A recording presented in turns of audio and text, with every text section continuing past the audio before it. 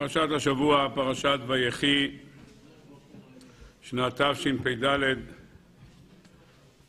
נקדיש את השיעור לעילוי נשמת אחותי, מרת ליבה אהובה בת מלכה, שהיום יום פקודת שנתה.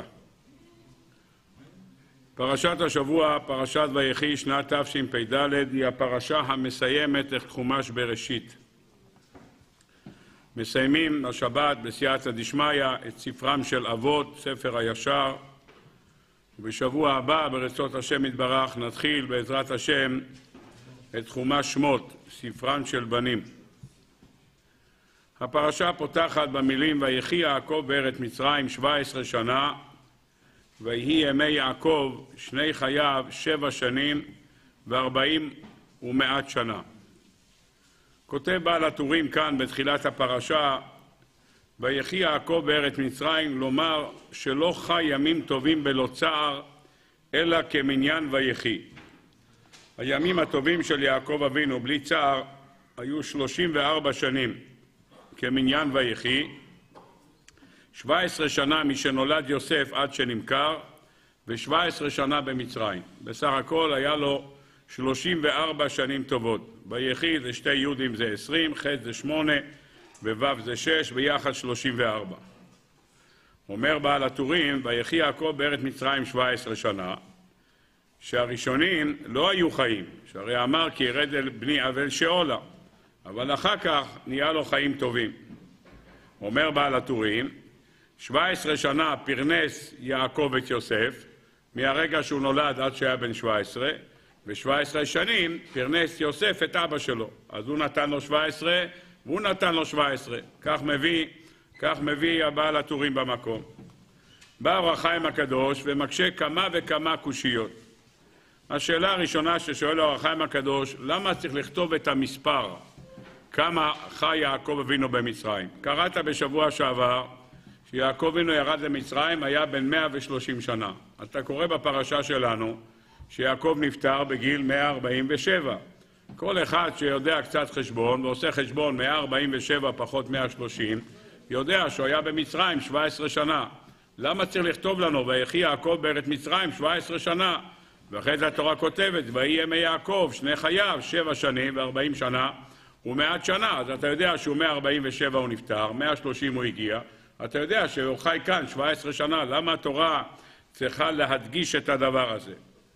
כותב האור החיים הקדוש דבר פלא, ולכאורה גם הדברים של בעל הטורים קצת צריכים ביור. בעל הטורים כותב שכל ימיו הטובים של יעקב אבינו לא היו רק 34 שנים. 17 שנה משנולד יוסף עד הרגע שמכרו אותו, ו-17 שנים שהם היו ביחד במצרים. לכאורה הדבר הזה פלא, כשיעקב אבינו היה בישיבת שם ועבר, היו לו חיים רעים? הוא חי מעין עולם הבא, מה יש חיים שיבת שם ועבר? מהרגע שהוא נולד הוא למד בישיבה עד גיל 15, למדו באותו בית ספר. בגיל 15 נפרדו דתיהם, הלך עשיו, הלך יצא לתרבות רעב, ויעקב המשיך בישיבה. עד גיל 63 הוא לא יצא מהישיבה בכלל. ישב בישיבה ולמד, בגיל 63 אמא שלו קרא לו לבוא לקבל את הברכות, אבל הוא ישב בישיבה כל הזמן. אז מה, איזה חיים רעים היו לו? אומר, חיים הטובים שלו היה רק 34 שנים. פלא מופלא. האור החיים הקדוש כותב שבסך הכל היה לו 17 שנים טובות. ויחי יעקב בארץ מצרים 17, זה מה שהיה לו, ה-17 שנים האלה היו השנים הטובות שלו. 130 שנה לא היו ימים טובים, והדבר הזה הוא פלא. למה לא ימים טובים? כל הימים שהוא ישב ולמד, כל הימים שהוא היה בישיבה, מה היה רע? בגיל 63 הוא יצא לקבל את הברכות, אחרי זה עשיו ניסה להרוג אותו כי הוא לקח לו את הברכות, אבל עם כל זה הוא היה 14 שנים נוספות בישיבה. אז מה, מה החיים הרעים שעליהם מדברים כל שנותיו היפות של יעקב אבינו לא היו אלא 34 שנים כשיטת הבעל הטורים, אור החיים הקדוש 17 שנה, לכאורה הדבר הזה לא כל כך מובן מה מונח כאן. כותב האור החיים הקדוש, אני אקריא לכם את התשובה שלו, ואולי לצד שכל ימי יעקב לא נח ולא שקט, כי מי שנולד שטנו של יעקב הוא עשיו, הרי הם באו באותו רחם, יעקב ועשיו, וברגע שעשיו נמצא בעולם, והוא, אז יש לו הרגשה לא טובה, כי עשיו מההתחלה זה פועץ לעבודה זרה, וזה הולך ללמוד תורה, ומההתחלה הם כבר ברחם של האימא שלהם חילקו את העולם הזה והעולם הבא, לא היה לו נוח עם כל היצירה הזאת שקוראים לה עשיו. אז יכול להיות, אומר החיים הקדוש, אז כל החיים שלו, שיש את עשיו נמצא לו ב, ב, נמצא באוויר, עשה לו לא טוב. ואחרי זה עדיין לא שקע שמשו של עשיו, הוא נפל בידיים של לבן. גמר עם הידיים של לבן, מוסיף לו אחרי זה הדר של דינה. חוזר לארץ ישראל, מתחיל צרת יוסף. אין לו שקט. יעקב אבינו לא ראה ימי שקט ושלווה בחיים שלו. ולכן אומר החיים הקדוש, ויחי יעקב בארץ מצרים 17 שנה, ואלו הם חייו ולא קודם. החיים הטובים שלו יהיו 17 שנה, כך כותב החיים הקדוש. והשנים הטובות זה ה-17 האלה, וכן נאמר בתנא ואליהו רבה, פרק ה' ונתן ליעקב 17 שנה סמוך לזקנותו, טובים מעין עולם הבא. מה שכתוב שהוא חי 17 שנה, זה היה חיים כל כך מאושרים מעין עולם הבא. כותב על זה, כותב על זה האור החיים הקדוש, וזה החיים האלה היו חיים טובים על דרך אומרם, זה מה שכתוב בדברי רבותינו, כל מי שסוף ימיו בטובה, כאילו כל ימיו בטובה. מי שסוף החיים שלו היה טוב, אז כל החיים שלו בטובה. יש כזה ביטוי, סוף טוב, הכל טוב. יש כזה אמרה כזאת. ואותו דבר נאמר בקהלת, טוב אחרי דבר מראשיתו. אם הסוף הוא טוב, אז גם הכל טוב. ונאמר, והיה ראשיתך מצר, ואחריתך ישגה מאוד. אם ככה אומר הרחיים הקדוש, הסוף של יעקב אינו היה טוב, וזה כיסה על כל הצער שהיה לו קודם. אז ויחי יעקב בארץ מצרים 17 שנה, אלה השנים הטובות שלו. אם ככה כותב בעל הטורים דבר נוסף, בואו ראה, כי רק אצל יעקב הזכיר השנתים המועטות תחילה, ולא הרבות. אצל אברהם אבינו כתוב שהוא חי מאה שנה, שבעים שנה וחמש שנים. אז מה הסדר? קודם כל מאה, אחרי זה שבעים, אחרי זה חמש. אצל יצחק אבינו מה כתוב? שהוא חי מאה ושמונים שנה. אז קודם כל מאה, אחרי זה שמונים. יעקב אבינו היחידי שמתחילים מהיחידות שבע שנים, ארבעים שנה ומאה שנים. למה ככה? למה אתה לא אומר מאה ארבעים ושבע? כותב בעל הטורים לפי שאצל אברהם ויצחק היה רוב השנים טובות אצלהם. היות והיה להם רוב שנים טובות, אז מציינים את המאות קודם. אצל יעקב שרוב השנים היו רעות, אז מציינים את השעים הקטנים, אלה היו אצלו בטובה, ימים מעטים.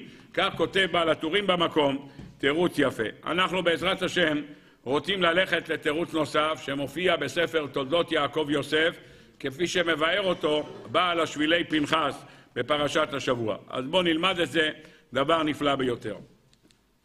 כתוב בחז"ל, בגמרא, במסכת ברכות, אומרת הגמרא, לעולם יהיה אדם רגיל לומר כל מאן דאביד רחמנא לתו אביד. אדם שיהיה לו מרגלה בפומי, תמיד כל מה שקורה לו יגיד לתו אביד, הקדוש ברוך הוא עושה לטובה, איחרת אוטובוס, כל מאן דאביד רחמנא לתו אביד. איחרת פה, איחרת שם, הכל לתו, הכל זה טוב. הקדוש ברוך הוא מתכנן צעדי אדם, אז הכל לטובה. אותו דבר נחום איש גמזו, נקרא בשם גמזו, כיוון שכל חייו הוא אמר גמזו לטובה. כך הוא הכניע לנו. והגמרא אומרת שאדם צריך להרגיל את עצמו, לומר את אלה המילים בכל עת. כל מאן דאביד רחמנא לטב אביד, או גמזו לטובה, או כמו שאמר רבי עקיבא, תמיד להשתמש עם המילים האלה טוב. הוא מביא שם בשם הבעל שם טוב, זכותו תגן עלינו, שאומר הבעל שם טוב שכאשר אדם רע לו, הוא נמצא במערכת של דינים, והוא אומר כל מאן דאביד רחמנא לטב אביד, אז ממילא הוא ממתיק את הדינים. זה נקרא המתקת הדינים. שאתה רואה את חסדו של הקדוש ברוך הוא בתוך הדין. אתה אומר, זה טוב. אף על פי שאתה לא רואה כרגע מה זה טוב, אבל אתה מבין שאם הקדוש ברוך הוא עשה את זה, אז זה טוב. אז אתה אומר לתו, אז זה נמצא בתו. ממילא אתה ממתיק את הדינים. כותב על זה, נחום איש גמזו מצא בתוך הדין והרע שורש חסד, והוא לטובה, ואז נעשה באמת חסד מן הדין. שנמתק הדין בשורש החסד, שמצא בו ולכך הזהיר התנא שיהיה רגיל לומר כל דוד משמיא לתו אביד. עד כאן הדברים שכותב הבעל שם טוב, מביא אותה על תולדות יעקב יוסף. וזהו שרמז הכתוב כאן בפרשת השבוע. ויחי יעקב בארץ מצרים 17 שנה. מה הכוונה ויחי יעקב בארץ מצרים 17 שנה? נכון שהוא חי במצרים 17 שנה, זה ודאי שזה ככה. אבל יש כאן איזשהו מסר לדורות. מה המסר לדורות? ועל פי זה גם מתורץ השאלה של אור החיים הקדוש. למה צריך לכתוב שהוא חי במצרים 17 שנה? תעשה חשבון, אם הוא בא בגיל 130 ונפטר בגיל 147, אז אתה יודע שיש 17 שנה. אז מה פירוש הדבר ויחי יעקב בארץ מצרים 17 שנה? אומר רק כך על תולדות יעקב יוסף, תירוץ מאוד יפה. דע לך שמצרים זה לא רק הכוונה למצרים, מצרים הכוונה המיצר שכל אדם, לכל אדם יש מיצר, יש לו מקום שהוא נמצא סגור. אחד סגור בשידוכים, ואחד סגור בבריאות, אחד סגור בפרנסה, אחד סגור בשלושתיים, כל אחד יש לו איזה תיקייה, יש לו מצרים שלו. מצרים זה כינוי של מיצר. אתה נמצא במלכודת, זה הכוונה, מיצר. הכותב השח על התורה שמצרים כותבים אותה מ' פתוחה ונסגרת במ' סגורה. נכנסת לצרה, אתה לא יודע איך יוצאים ממנה. מ' פתוחה, נכנסת בתוכו, סגור. אתה נעול בפנים, לא יודע איך לצאת החוצה. אומר, זה מצרים, נכנסת לצרה, אתה לא יודע איך יוצאים מהדבר הזה. אומר לנו הפסוק, ויחי יעקב, אתה רוצה לדעת איך אפשר לחיות במצרים? כשאתה נמצא במצר, אתה יודע איך אתה יכול לחיות? 17. כל הזמן תזכור את המספר 17. מה אומר המספר 17? טוב, אז מה זה שנה? שנה לא הכוונה לשנה, תשפ"ד, תשפ"ה. שנה פירוש דבר חזר. כשאתה רוצה לומר חזר ושנה, אז אוכל לומר את זה עוד פעם ועוד פעם. ויחי יעקב בארץ מצרים 17 שנה, תחזור על זה כל פעם, 17, 17, 17, 17. מה נשמע? 17. איך אתה מרגיש? 17. הכל 17, תגיד 17, וככה ייכנס לך לליין כל הזמן, טוב, טוב, טוב, זה הכל. איך כתוב? תחשוב טוב, יהיה טוב. ככה כתוב, אני ראיתי מפורש בסטיקרים. אז אם כתוב בסטיקרים ככה, אז סימן שזה ככה, הם לא כותבים דברים סתם, כנראה שזה מקור. נו, אז תחשוב טוב יהיה טוב. אז לכן אומר כל הזמן, ויחי יעקב בארץ מצרים, מי שנמצא בתוך המצרים, אתה נמצא באיזה צרים, מן המיצר קראתי כאן, אתה נמצא במצרים, אתה נמצא במיצר שלך. איך תצא? 17. תגיד כל הזמן כוח 17. מה זה כוח 17? תגיד כוח טוב, אני טוב, כל הזמן זה הכוח שלי.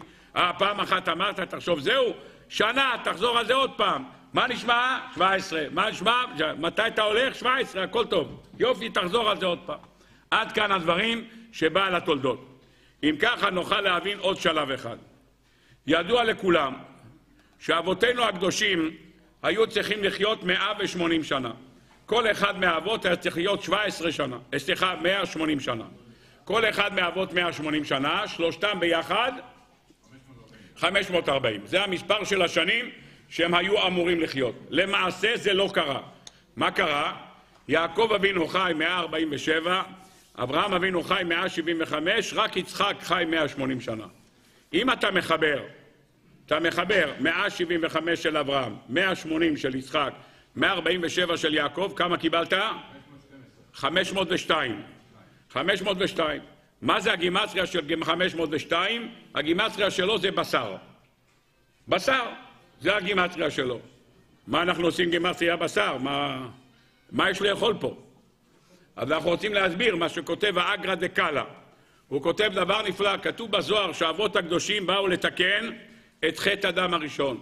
כך כתוב, אברהם תיקן עבודה זרה, יצחק תיקן שפיכות דמים, יעקב תיקן גילוי עריות. נתנו על זה פעם שיעור בשנת לא זוכר את השנה, פרשת וייצא, פנה הודה, פנה זיווה, פנה הדרה, כי יעקב אבינו השלים את התיקון, לכן כתוב בחז"ל, שופרי די יעקב בין שופרי די האדם הראשון.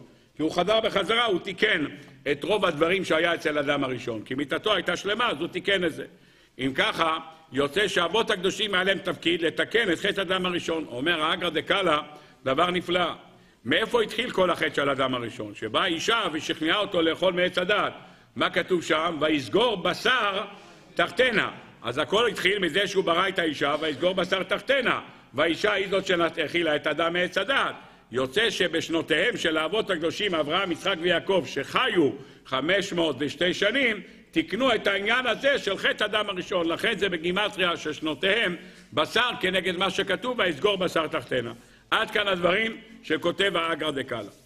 האדם שחי הכי מעט שנים הוא יעקב אבינו, 147 שנים, אלה שנותיו של יעקב אבינו. למה הוא חי כל כך מעט שנים? הרבה תירוצים יש בדבר. יש, בגלל שהוא אמר, את אשר ימצא אצל אלוהיך לא יחיה, וקללת חינם לא תבוא, כמו שכתוב כאן לבעל הטורים ועוד מפרשים. אני רוצה לקחת את דברי דעת זקנים מבעלי התוספות בפרשת שבוע שעבר.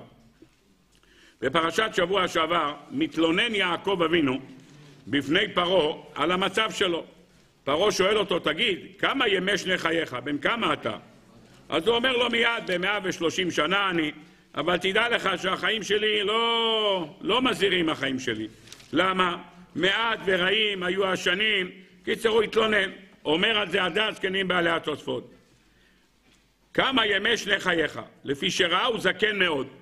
פרעה ראה אותו זקן, ושערות ראשו וזקנו לבנות מרוב הזקנה, שאל כן, כמה ימי שני חייך?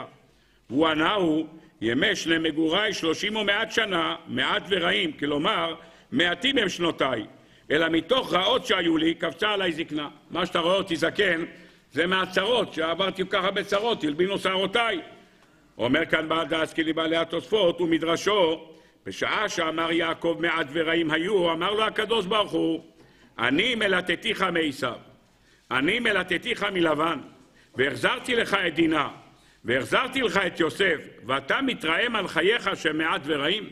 ועוד איפה? בפני פרעה? לא מצאת איפה להתלונן על החיים שלך רק בפני פרעה? חייך שמניין התיבות שיש מן ויאמר עד בימי מגוריי, כך יחסרו משנותיך. כמה מילים יש שם? 33 מילים. 33 מילים שהתלונן יעקב אבינו בפני, בפני פרעה על החיים שלו. אמר לו הקדוש ברוך הוא, על כל מילה תרד לך שנה. על כל מילה שאמרת תרד לך שנה. היות והיה כאן 33 מילים, אומר זה הזקנים בעלי התוספות, לכן הורידו לו 33 שנים. ולכן אומר לנו זה הזקנים שלא תחיה כחיי יצחק אביך, והם ל"ג תיבות, ובמניין זה נחסרו מחייו, שהרי יצחק חי 180 שנה, ויעקב לא חי אלא קמ"ז. עד כאן דעת זקנים בעלי התוספות בקטע האחרון בפרשת ויגש. טוב, נפלא ביותר. אם ככה, יוצא שיעקב אבינו אמר לפרעה, אמר לו, תשמע, היו לי ימים לא טובים, ימים ורעים היו השנים שלי. המילה הזאת רע חוזרת אצל פעם נוספת. מתי? כשהאחים חוזרים ממצרים ואומרים לו שהאיש אדוני הארץ אמר אתם לא תקבלו עוד פעם תבואה, בלתי אחיכם הקטון איתכם, מה אמר יעקב אבינו? למה הראותם לי לומר לאיש שיש לכם אברך, מה אתם, למה עשיתם לי את הרע הזה? למה סיפרתם לו את כל... אמרו לו, שאול שאל האיש, לאן עומדתנו, מה אתה רוצה? הוא שאל, אז ענינו לו על השאלה הזאת, מה אתה בא אלינו בתלונות? טוב, יוצא שהשתמש יעקב אבינו פעמיים, פעם אחת שהוא אמר אצל השבטים, ופעם השנייה שהוא אמר לפרעה, מעט ורעים. אם ככה נוכל להבין מה התיקון שעשה כאן יעקב אבינו. מה התיקון? לכן ויחי יעקב בארץ מצרים 17 שנה. עכשיו הוא יפע בפני כולם ואמר להם רבותיי, הכל טוב, הכל טוב, הכל טוב, הכל טוב, על מה שאמרתי מעט ורעים, עכשיו אני מתקן ואומר הכל טוב, הכל טוב, הכל טוב. היה פעם איזה סיפור כזה, אני לא זוכר את הפרטים, אבל אחד האדמו"רים שדפק בדלתו של הרבה שלו, הוא דפק נקש בדלת, והוא שאל, מי זה שם? אז הוא אמר אני, כך הוא אמר, מי זה שם? הוא אמר אני. טוב, אז הוא נכנס, והרבה מאוד כעס עליו, שהוא אמר אני. אז תגיד יעקב, דוד, משה, מה זה אני? מתי אני? מי אתה שאתה אומר אני? מה זה אני?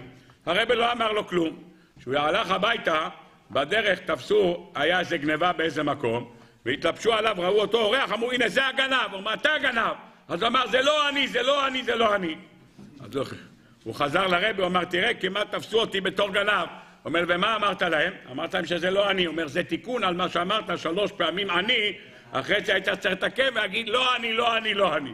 אז הוא אומר על אותו משקל נוכל להשתמש גם פה. כאשר יעקב אבינו, בחיר עם ישראל, מבחר האבות, אומר כזה ביטוי מעט ורעים, והקדוש ברוך הוא כעס עליו, איך אתה אומר מעט ורעים?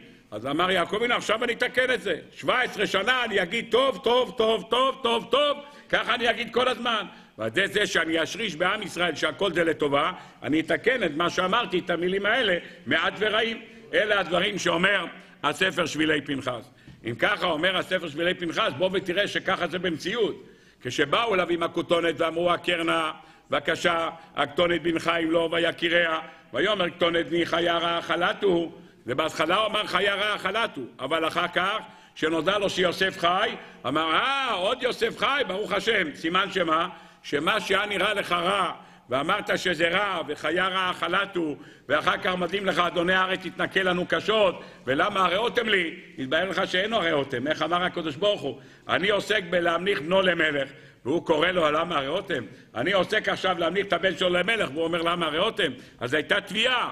לכן בא התיקון בעת הזאת, מה התיקון? לומר כל הזמן טוב. לכן התורה מדגישה, ויחי יעקב בארץ מצרים 17 שנה. מה הדגש הזה? שהתיקון היה להגיד טוב כל הזמן. זה התיקון שלו במשך 17 שנה. עד כאן הדברים שמופיע בשם ספר תולדות יעקב יוסף, ואם ככה בסייעתא דשמיא נוכל להתחיל את הנושא שלנו בפרשת השבוע. פותחת הפרשה, ויחי יעקב בארץ מצרים 17 שנה, ואחרי שהתורה כותבת שהוא חי 17 שנה, הוא מבקש מיוסף הצדיק שלא יקבור אותו במצרים. ויקרבו ימי ישראל למות, ויקרא לבנו ליוסף. שואל הספר זרע ברך, או יהיה כתוב לבנו, או ליוסף, או לבנו יוסף. משהו כאן לא מסתדר. למה? כתוב ויקרא לבנו ליוסף, משמע שזה שניים אחרים. כי אם אתה מדבר על אחד, אז צריך לומר ויקרא לבנו יוסף. או ויקרא ליוסף. למה צריך לומר ויקרא לבנו ליוסף? זה הלמד מיותרת שם. אם אתה רוצה להדגיש שיוסף הוא הבן שלו, אתה אומר ויקרא לבנו יוסף. למה צריך לומר ויקרא לבנו ליוסף? ככה שואל הספר זרע ברך, שאלה נפלאה ביותר. טוב, הוא אומר לו בבקשה שים ידך תחת ירחי ותשבע לו, הוא נשבע לו, ויאמר אנוכי אעשה כדבריך, ויאמר יישבע לי, וישבע לו, וישתחו ישראל על ראש המיטה. יעקב אבינו השתחווה על ראש המיטה, אומר כאן רש"י. מה זה וישתחו ישראל? על ראש המיטה, הפך עצמו לצד השכינה. למה? מכאן אמרו שהשכינה נמצאת למעלה מראשותיו של חולה. דבר אחר על ראש המיטה, על שהייתה מיטתו של יעקב אבינו שלמה, ולא היה בו רשע. 12 ילדים פרחים היו לו. עם 12 ילדים טובים, אף אחד לא ירד מן הדרך. גם יוסף שהיה מלך במצרים והסתובב בין הגויים כל הזמן, נשאר זך ונקי, אז לכן הוא אומר שהרי יוסף מלך הוא. ועוד שנשבע לבין הגויים והרי עומד בצדקו, אז הוא השתחווה על ראש המיטה, כי ראש המיטה שם נמצאת השכינה, כי שכינה נמצאת למעלה מראשתיו של חולה, לכן הוא עשה את זה, נפלא ביותר. עד כאן הדברים שמביא רש"י. אני רוצה רק להביא קטע נוסף שמופיע במדרש ילקוט שמעוני בפרשת ואתחנן. בילקוט שמעוני, פרשת ואתחנן, אות תתל"ג, וישתחו ישראל על ראש המיטה, וכי על ראש המיטה השתחווה, אלא שהודה ושיבח שלא יצא ממנו פסולת. הוא הודה ושיבח את הקדוש ברוך הוא והשתחווה, כי השכינה נמצאת שם, כמו שאמרנו, והשתחווה, ולהגיד לקדוש ברוך הוא תודה רבה שלא יצא ממנו פסולת. ויש אומרים וישתחו ישראל על ראש המיטה, שעשה ראובן תשובה. הוא אמר תודה רבה לקדוש ברוך הוא שראובן חזר בתשובה. מה נכנס פה עכשיו שראובן עשה תשובה? וישתחו ישראל על ראש המיטה שראובן עשה תשובה. מה הוא עכשיו פה נכנס פה התשובה? כאן הוא מצווה את יוסף הצדיק שיביא אותו לקבורה בארץ ישראל. מה זה וישתחו ישראל על ראש המיטה שהשתחווה על מה שעשה תשובה? בא שם זית רענן, במפרש, בילקוט שמעוני, ואומר תירוץ. הוא אומר מיתה נקראת ילדים. הילדים נקראים מיתה, כמו שכתוב כאן ברש"י, שמיתתו של יעקב אבינו הייתה שלמה. מה זה מיתתו הייתה שלמה? שהיה לו מזרון קפיצים. מה זה מיתתו הייתה שלמה? אומר רש"י שכל הילדים שלו היו צדיקים. זה נקרא מיתתו שלמה. המיתה של האדם שלמה, שהילדים ממשיכים באותו דרך, זה נקרא מיתתו שלמה. יוצא שהמיתה זה כינוי לילדים. אם המיתה זה כינוי לילדים, אומר הזית רענן, אז מי הראש במיתה? מי הראש במיתה? מי הראש? ראובן, ראובן הוא הראש. אז אם כתוב וישתחו ישראל על ראש המיטה, מי זה הראש? אם אתה אומר שמיטה שלמה הכוונה ל-12 שבטים שהיו בסדר, אז מי זה הראש מביניהם? ראובן, וישתחו ישראל על ראש המיטה. כך כותב הספר זית רענן. ואלמלא דמסתפינה, הייתי נותן לזה תוספת קלה. איזה תוספת? הייתי אומר, וישתחו ישראל על ראש, ראש המיטה זה כמובן ראובן, על פי מה שאומר הזית רענן. אבל יכול להיות שגם יש כאן עוד נקודה אחת, שהתשובה של ראובן הייתה על הנושא של המיטה. איזה נושא של המיטה? שהרי כל מערכת שהיה לראובן, שהוא לקח את המיטה של יעקב אבינו ושם את זה באוהל של... באוהל של לאה. וזה מה שנאמר, שהוא בלבל יצואי אביו. אז וישתחו ישראל על ראש המיטה, אפשר להוסיף על זה עוד יחידה אחת. שהוא עשה תשובה בעניין בלבול המיטה של יעקב אבינו. זה אולי חלק נוסף, הזית רענן לא אומר את זה, אני חשבתי, תרצו תקבלו, לא תרצו עוד יותר טוב. בכל אופן, אלה הדברים שכתוב בדברי רבותינו, ונמשיך הלאה ברצות השם יתברך. טוב, אנחנו רוצים להיכנס לפסוקים הבאים. ויהי אחרי הדברים האלה, ויאמר ליוסף הנה אביך חולה, ויקח את שני בניו עמו, את מנשה ואת אפרים. ויגד ליעקב ויאמר הנה בנך יוסף בא אליך, ויתחזק ישראל וישב על המיטה. ויאמר יעקב אל יוסף, כן שדי נראה אליי בלוז בארץ כנען, ויברך אותי. ויאמר אליי ני מפריך והרביתיך, ונתתיך לקהל עמים, ונתתי את הארץ הזו זרחה אחריך אחוזת עולם. ואתה, שני בניך הנולדים לך בארץ מצרים, עד בואי אליך מצרים עלי הן, אפרים ומנשה כראובן ושמעון יהיו לי. מה? לוקח יעקב אבינו את שתי השבטים, את שני הנכדים שלו, שזה מנשה ואפרים, ומכניס אותם למניין השבטים. מה הוא אומר לו? דע לך, מנשה אפרים ומנשה כראובן ושמעון יהיו לי. פירוש דבר, הוא שם אותם בתוך מערכת 12 שבטים. לכאורה אין יותר מ-12 שבטים. חז"ל הקדושים אומרים 12 שעות ביום כנגד 12 שבטים, 12 שעות בלילה, 12 שבטים, 12 מזלות ברקיע, 12 שבטים, 12 חודשים בשנה, 12 שבטים, הכל מכוון כנגד שבטים. אז לא יכול להיות 14. אם הוא אומר לו, כשראובן ושמעון יהיו לי, ויש לך עד עכשיו 12 שבטים, אז עכשיו יש לך 14 שבטים. לכאורה זה לא מסתדר. חייב להיות שמה? שמוציאים אחד החוצה. את מי מוציאים? שניים צריכים להוציא החוצה. את מי מוציאים החוצה? את יוסף ואת לוי. שניים יוצאים החוצה ונכנסים 12. יפה מאוד. עם אלה הדברים, אני רק רוצה לומר מה כותב כאן רבינו בחיי. ובכאן נתן יעקב אבינו הבכורה ליוסף. באמירה הזאת שהוא אמר לו, שני בניך, מנשה ואפרים כראובן ושמעון יהיו לי, כאן הוא מסר לו את הבכורה. למה הוא מתכוון כאן מסר לו את הבכורה? אם אתה מוציא את יוסף, אתה מכניס אחד במקומו. תכניס איזה? או מנשה או אפרים. אם החלטת להוציא אותו ממניין השבטים כי הוא מלך, ואתה לא רוצה להוציא אותו, אין שום בעיה, תוציא אותו. אבל תכניס אחד במקומו, מה הוא עשה? הוציא את יוסף ושם במקומו שניים, גם את מנשה וגם את אפרים. איך יכול להיות? אומר רבינו בכיה, פשוט מאוד, הוא בכור. ואם בכור מקבל תמיד בשתיים, אם הוא מקבל פי שתיים, לכן נתן לו שתיים. כאן מסר לו יעקב אבינו את הבכורה. אלה הדברים שכותב כאן רבינו בחיי. טוב, נפלא ביותר. מה פתאום הוא עשה את זה? מה פתאום הוא עשה את זה? לקחת ולהכניס שתי ילדים, את השאלה הזאת שואל החזקוני, אומר החזקוני, למה הוא הכניס שתיים? אתה יודע למה? לפי שכלכל אותו ברעב. היות ויוסף הצדיק פרנס אותו במשך 17 שנה, פרנס אותו 17 שנה, רצה לצ'פר אותו. אמר לו, אתה נתת לי לאכול 17 שנה, אני אפצה אותך, תקבל מה? תקבל מנה כפולה, תקבל לא רק ילד אחד, שני בנים. ועוד, יש לומר, לפי שהיה פטר רחם לרחל, שהייתה ראשית, ראשית ועיקר מחשבתו.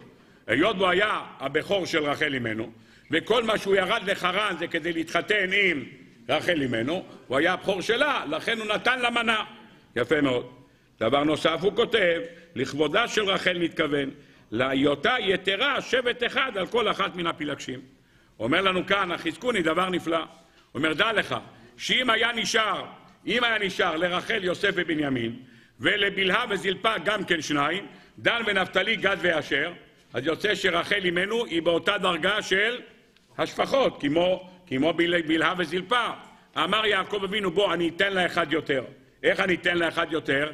אם אני מוציא את יוסף ומכניס לו שתיים, סימן שכמה ילדים יש לרחל? יש לה לפי החשבון הזה שלוש ילדים. אז זה מה שאני רציתי, לתת לה אחד יותר ממה שיש לשפחות. כי אם אתה מוציא את יוסף ואתה מכניס שתיים, אז לרחל אימנו יש בנימין, מנשה ואפרים. אז מילא זה מה שהוא נתן, את השלושה האלה, כדי לתת עדיפות על מה שהיה לשפחות. זה השלוש תשובות שמביא כאן הריסקוני. אני רוצה ברשותכם לעמוד על המשמעות. מה זה נתן לו להיות שני שבטים? מה, מה פירוש הדבר? הפירוש הדבר הרבה הרבה יותר עמוק ממה שנראה ככה, מלגמי, הכניס אותו לשבטים. ומה עם יוסף? הוא הלך, הוציא אותו החוצה ושם את מנשה ואפרים. ואיפה הוא? מה הוא עכשיו? באוויר? אבא הוא לא יכול להיות, כי אין קוראים אבות אלא... אלא... זה שלושה, כך אומרת הגמרא במסכת ברכות. אני מתאר לעצמי שכבר הוצאתם הגדה של פסח. אחרי חנוכה כבר מוצאים הגדה של פסח. שלושה מי יודע? שלושה אני יודע, מה זה שלושה? אבות. אז אין יותר משלושה אבות. אם היה יוסף הפך להיות אבא, אז היית אומר, ארבעה אבות, אבל אין ארבעה. אמרת תפילת ערבית היום. אלוקי אלוקי אלוקי אברהם, אלוקי יצחק, אלוקי יעקב, אין אלוקי יוסף.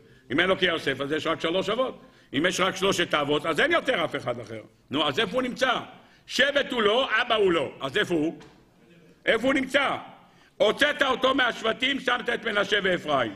הוא לא יכול להיות עכשיו שבט, כי הוצאת את הילדים שלו. הנכדים נכנסו לתוך מניין השבטים. אבא הוא לא, כי הם קוראים אבות אלא לשלושה, אז איפה הוא? הוא תלוי בין האבא לבין השבטים. איך קוראים לזה?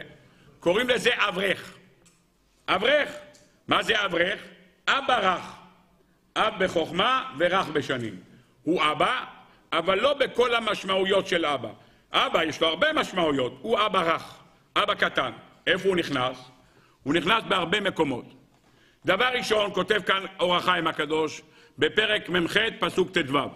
כותב אור החיים הקדוש, דע לך, שיעקב מסר לו, ויברך את יוסף, ויאמר, האלוקים אשר התהלכו אבותיי לפניו, אברהם ויצחק, האלוקים הרואה אותי מעודי עד היום הזה, כותב אור החיים הקדוש.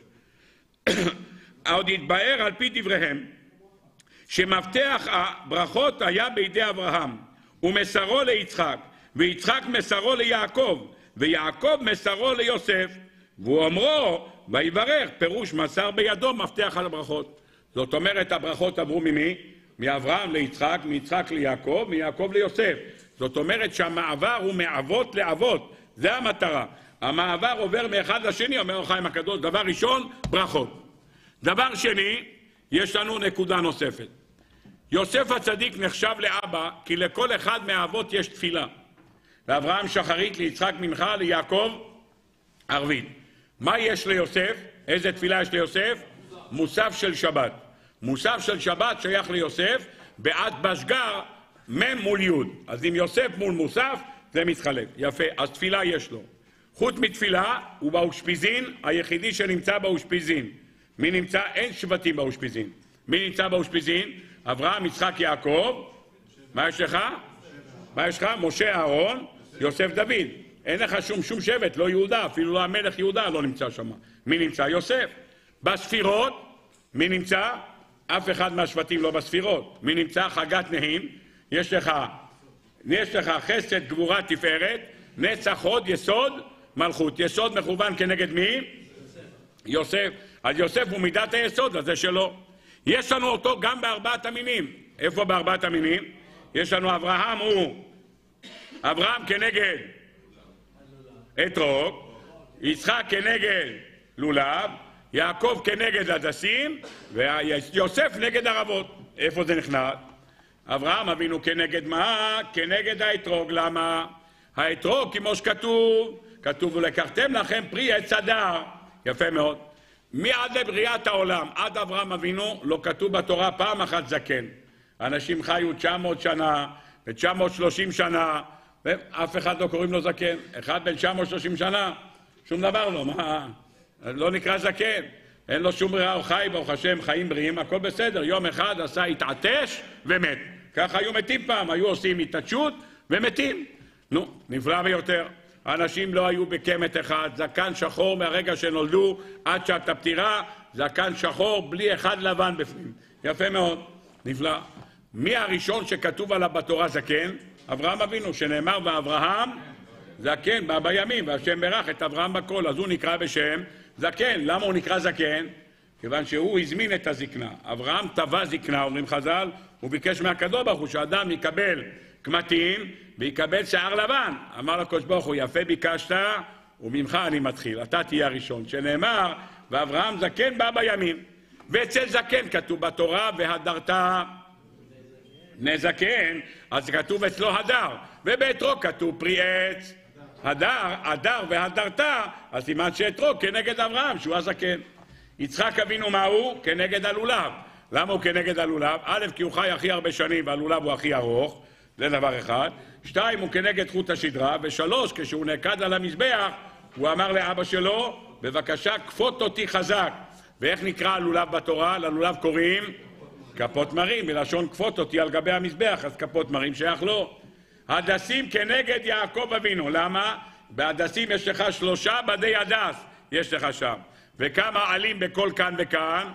שלוש עלים. שלושה עלים יש לך שם. אז אם יש עלים ג' עלים, אז ממילא מה? זה כנגד האב השלישי, יעקב אבינו. על יעקב אבינו נאמר, והחוט המשולש, לא במהרה ינתק. אז הוא שלא. אומר המדרש, מה ההדס רכוש בעלים? אותו דבר, מה? יעקב רכוש בבנים. כמה, עלים, כמה בנים היו ליעקב אבינו? בספירה פשוטה, כמה, כמה ילדים יש לו? כמה? איך הגעתם ל-12? איך הגעתם? חז"ל הקדושים אומרים שעם כל שבט נולדה תאומה. נו, אז כמה זה? 24. ועצים יש לך עוד אחד, אם יוסף נולדה, אם, אם בנימין נולדה תאומה יתרה, אומר רש"י, אז כמה זה כבר? 25. ויש לך את דינה, 26, אז כמה ילדים יש לו? כמניין שם הוויה, זה מספר הילדים שיש לו. אומר המדרש, מה, מה יעקב אבינו רכוש בבנים, ככה הדסים רכושים בעלים. גם אם תגידו שזה לא מסתדר, אז יש לו 25. כי בפרקי דרבי אליעזר, פרק ל"ו כתוב שאם יוסף לא נולדה תאומה. יוסף נולד לבד, בלי תאומה, ולכן בנימין הגיע עם שניים. אבל אם לא תיקח את פרקי דרבי אליעזר, ורש"י כותב אם כל שבט נולדה תאומה, הוא לא מחלק, אז ממילא יש לך ביחד 26 ילדים. יפה מאוד. ערבה כנגד מי? כנגד יוסף. למה? בערבה יש לך שני בדי ערבה. כמה ילדים היה ליוסף? שניים, מנשה ואפרים. אומר המדרש, מה הערבה קמלה לפני כולם? המה המתייבש הראשון מבין ארבעת המינים? אתרוג יכול להרגיש הרבה זמן, הלולב יכול להחזיק הרבה זמן, הדסים כמה שבועות, מה מתייבש על המקום? ערבה. אתה קונה בתחילת החג, אתה קונה כמה ניילונים, נכון? אם אתה לוקח מהעץ, אז זה יפה, שם אותו מלבלב, עומד יפה עד אחרי הקפות. אבל אם אתה מוציא אותו מהניילון, אז מה, אתה שם אותו, גמרת את ההקפה, הוא כבר הולך לנוח. היה קשה לו, הוא כבר נרדם. אתה חייב כל יום להחליט את הערבות האלה. לכן הוא אומר, הערבה קמלה לפני כולם, כך יוסף הצדיק נפטר לפני כולם. נקרא בעזרת השם בפסוק האחרון בפרשה, שהוא נפטר בגיל מאה ועשר שנים, הוא נפטר לפני כולם. אם ככה, רבותיי, יש לנו מה? יש לנו כאן מה שיש ליוסף הצדיק. יוסף התעלה לדרגה של אבא. יש לו תפילה, הוא באושפיזין, הוא בספירות, הוא ערבה בארבעת המינים, ומה יש לנו עוד? גם הפטירה שלו נמצאת בפרשה שלנו. יוסף נפטר בגיל 110 שנים. אף אחד מהשבטים לא מופיע בחומש בראשית. פרשת שבוע הבא כתוב, וימת יוסף וכל אחיו וכל הדור ההוא, הכל נמצא פרשת שבוע הבא, אין לנו פרשת שבוע הזה, הפטירה של השבטים. מי היחידי שמופיע כאן? יוסף הצדיק. למה הוא מופיע כאן? יוסף שייך למניין האבות, לכן הוא מופיע כאן, כי אבא שלו רומם אותו לדרגה של אבא. מה הדבר האחרון? יש לו חג. לכל אחד מהאבות יש חג. מה יש לנו? פסח, אברהם, שבועות, יצחק, סוכות, יעקב. יפה מאוד. מה יש ליוסף? ליוסף יש מה? יוסף יש לו ראש השנה. ראש השנה כנגד יוסף הצדיק. למה? כי הגמרא בראש שנה דף י"א אומרת, בראש השנה יצא יוסף מבית האסורים. מי המליך אותו, את הקדוש ברוך הוא, למלך במצרים? יוסף. מה הוא נעמד בפני פרעה בראש השנה? מה הוא אומר לו? בלעדיי אלוקים יענה שלום פרעה. אני כלום, הקדוש ברוך הוא. הוא נמלא להמליך את הקדוש ברוך הוא למלך בראש השנה, זה מה שעשה יוסף. מוישה רבינו, בחינת מה? בחינת יום כיפור, כך כותב הזוהר.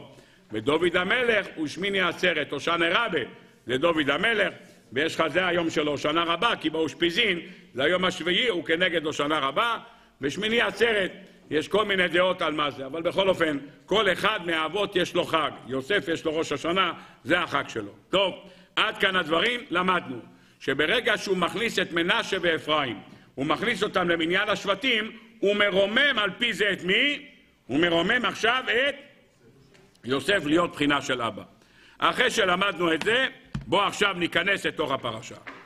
טוב, אומרת לנו התורה, אחרי שהוא הולך ונותן לו לשבטים להיות, למנשה ואפרים להיות חלק מהשבטים, אומרת התורה, וירא ישראל את בני יוסף, ויאמר מי אלה?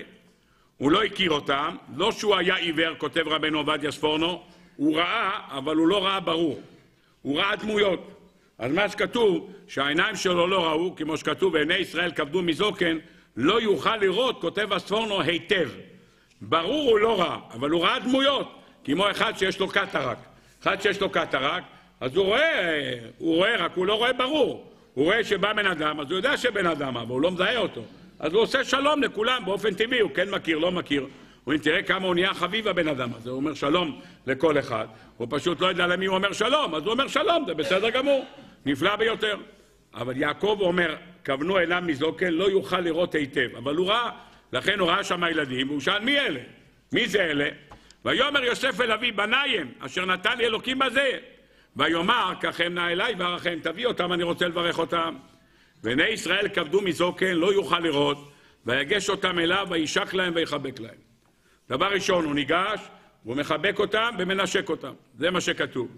צריך לדעת, כותב כאן רבנו עובדיה ספורנו, שהוא רצה להתקשר איתם לפני הברכה. אדם שרואה, מתקשר עם העיניים. הוא לא צריך לחבק ולנשק. הוא רואה, ברגע שהוא רואה זה מספיק, לא צריך יותר. כשאברהם בירך את יצחק, הוא חיבק אותו? הוא נשק אותו? גם לא. כשהוא בירך את השבטים, הוא בירך אותם, נשק אותם? לא, לא כתוב. מה קרה כאן? פשוט מאוד, הוא לא רואה, הוא לא רואה, אז הוא אומר, קחם נא אליי, חיבק אותם ונשק אותם. אז זה מה שהוא עשה, כי הוא לא יכול להתקשר איתם. לכן הוא חיבק ונשק. מה אחרי זה? אומרת התורה, ויוצא יוסף, ויוצא יוסף אותם עם ברכיו, וישתחו לאפיו ארצה. כותב כאן רש"י במקום.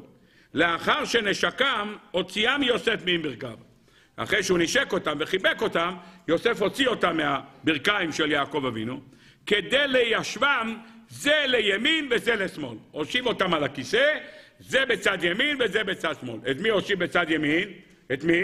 את מנשה. את מי הושיב בצד שמאל? את אפרים. יפה מאוד.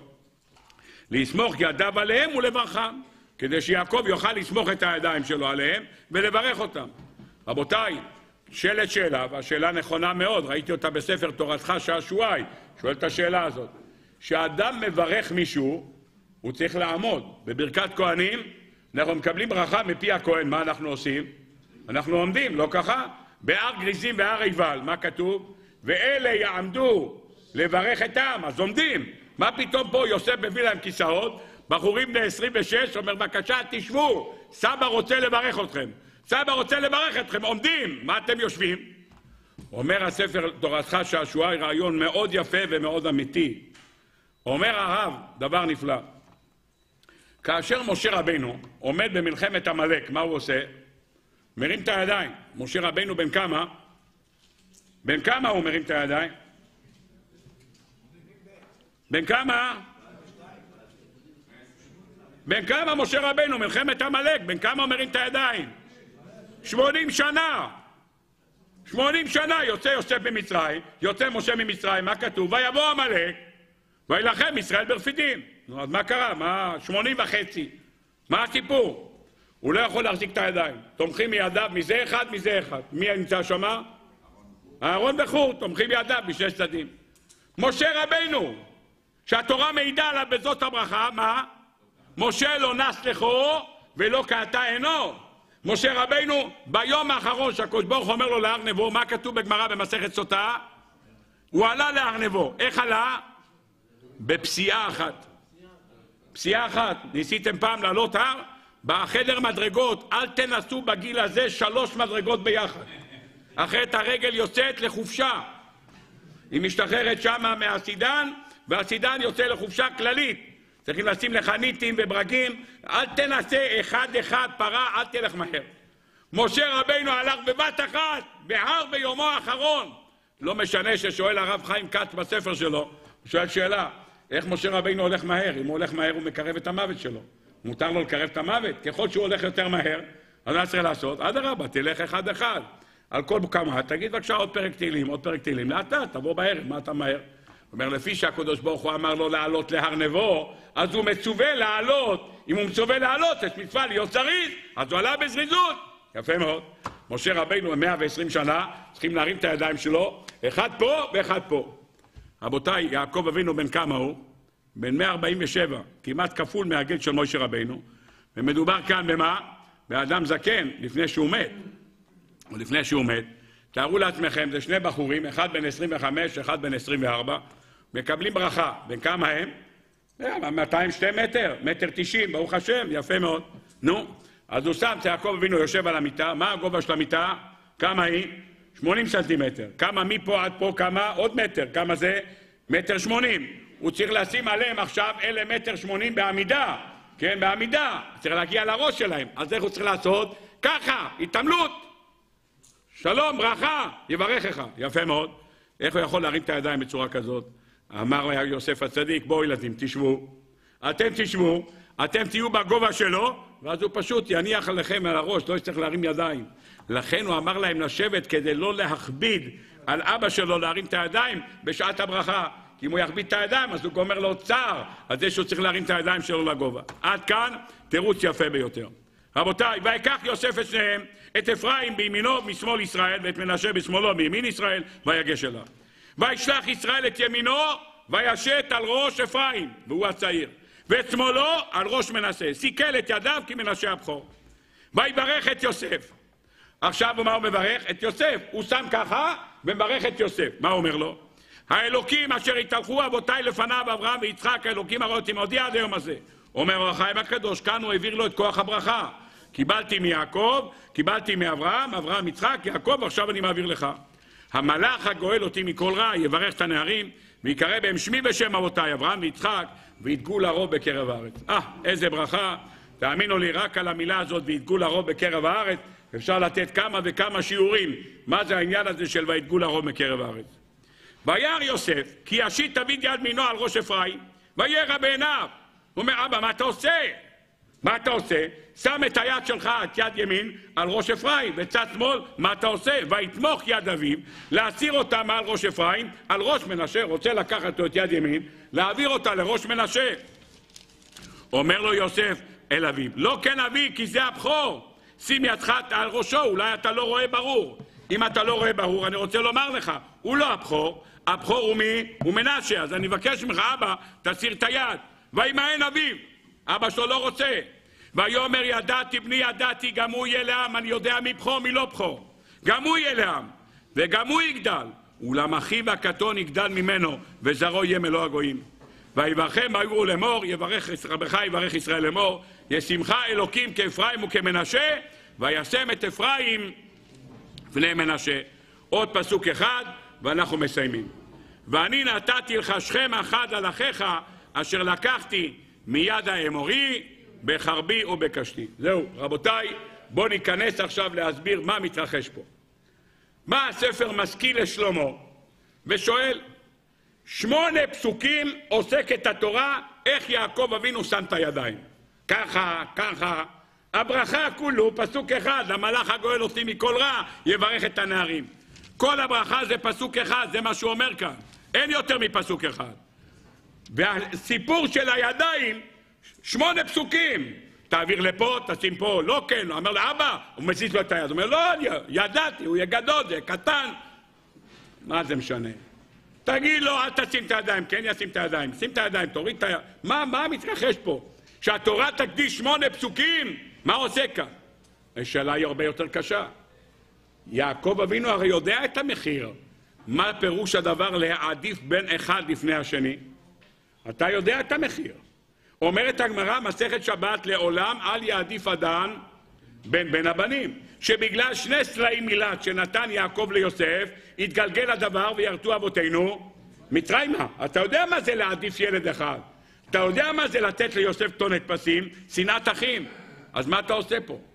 יש לך ילד, מנשה ואפרים, חיו עד היום בשלום, חיו עד היום באחווה, היה אפרים היה איש כולל, ישב כל היום ולמד, לא התלהב שום דבר, מנשה איש היה איש של הארמון, הוא התערב בתוך מצרים ועבד אצל אבא שלו, חיו בשלום ובהרמוניה, אין לזה בעיות עם זה ולא לזה בעיות עם זה, כולם חיים בטוב. בא יעקב אבינו, בימים האחרונים לחייו, אומר, הלו, הלו, רגע, רגע. אפרים לפני מנשה. למה, למה, למה, למה, מה? אתה לא יכול לברך אותו, לשים את היד שמה ותברך אותו עם הכוונה שלך. תחשוב עם הכוונה שלך, שאפרים יהיה יותר חזק. למה לשנות את הידיים? שמונה פסוקים עוסקת התורה, מחליפים ידיים, שמים ידיים, ננסה להעביר, אומר לו, לא, אני יודע, הכל בסדר. מה, מה קורה פה? איך זה מסתיים? ואני נתתי לך שכם אחד על אחיך, אשר לקחתי מיד האמורי בחרבי ובקשתי. שתי פירושים מביא כאן רש"י. פירוש אחד אומר רש"י, שכם היא שלי. שכם שלי. למה? אני קניתי אותה בכסף מזומן. ויהי כן יעקב את חלקת השדה מיד שכם בן חמור, כמה הוא שילם על זה? מאה קשיטה. אין עוררים, אומר המדרש. שכם שייכת ליעקב אבינו. מערת המכפלה שייכת לאברהם אבינו.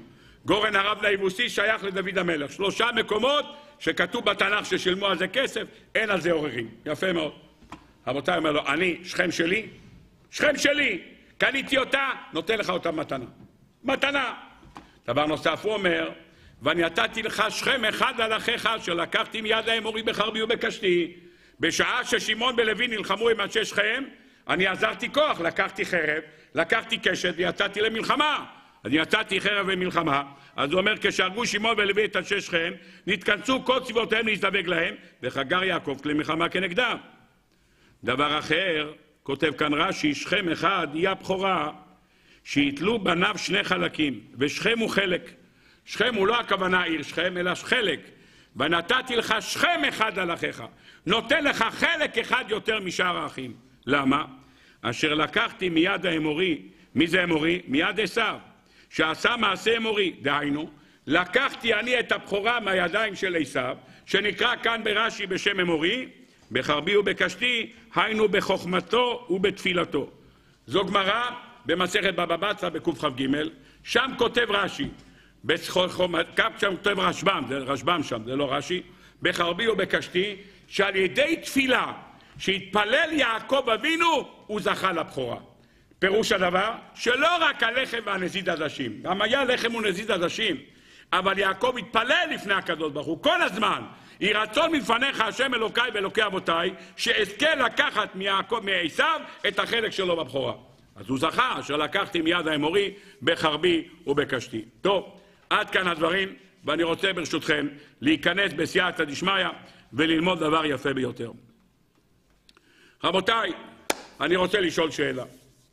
אם כשיטתו של רבינו בחיי, שבשעה שהוא אמר שתי בניך, כי ראובן ושמעון יהיו לי, כאן הוא נתן לו את הבכורה, או כשיטת רש"י, שהוא נתן לו את הבכורה, נתתי לך שכם אחד על אחיך אשר לקחתי מיד האמורי בחרבי ובקשתי, בכל מצב בפרשה הזאת הוא מעביר את הבכורה מראובן ליוסף. זה מה שהוא עושה כאן. מעביר את הבכורה מראובן ליוסף. רבותיי, מותר לעשות את זה? מותר לעשות את זה?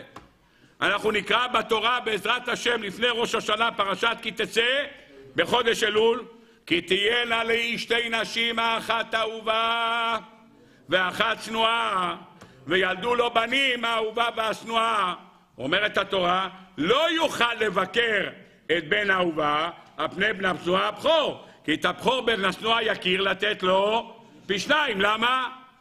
למה? כי הוא ראשית עונו, לא משפט הבכורה התחתנת עם שתי נשים, האחת אהובה והאחת שנואה, השנואה ילדה קודם, והאהובה ילדה אחר כך. אומרת התורה, אל תיתן לו בכור. אל תיתן לו בכור. למה? הבכור הוא מה? הוא הבן של התנועה. שלא תעביר את הבכורה. לא תעביר. עד כאן הדברים של התורה. שואל הראש על התורה. שם. שואל דעת זקנים בעלי התורה. שם.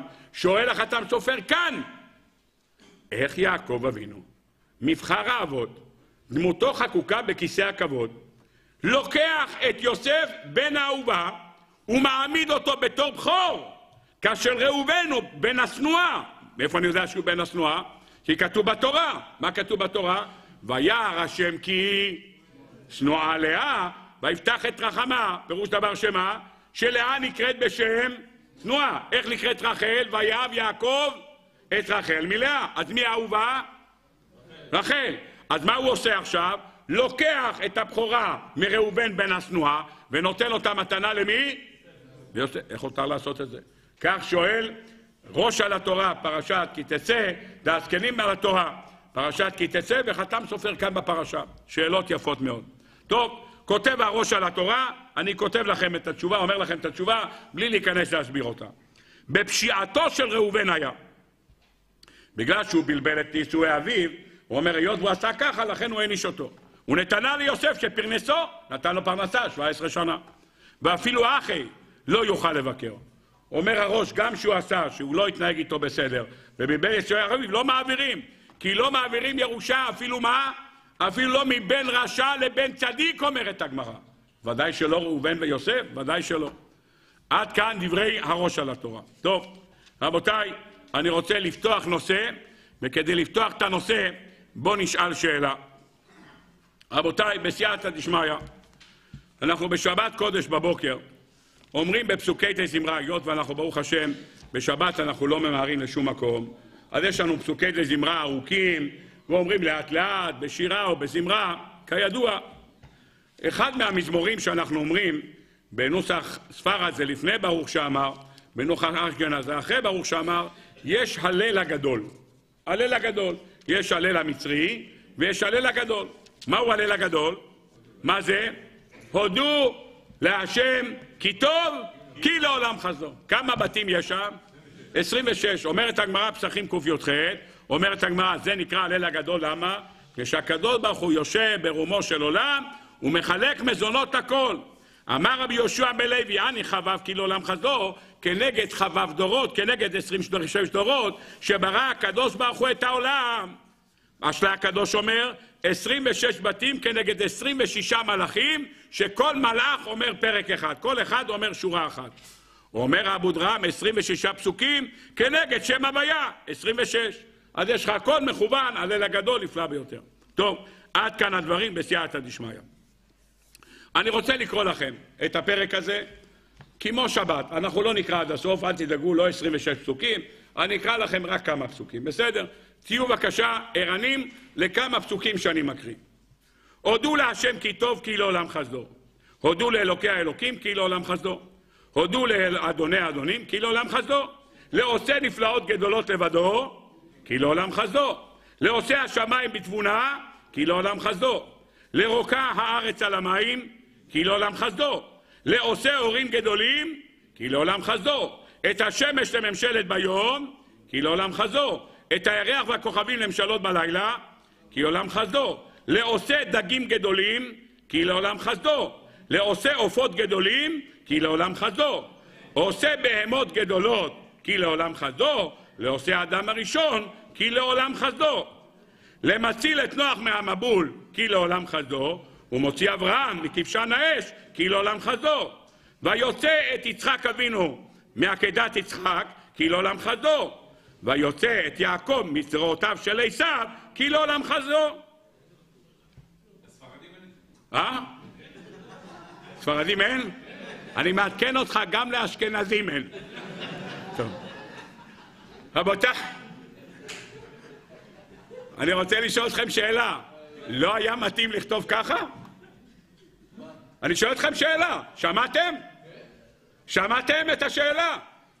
תראו מה התחמודים.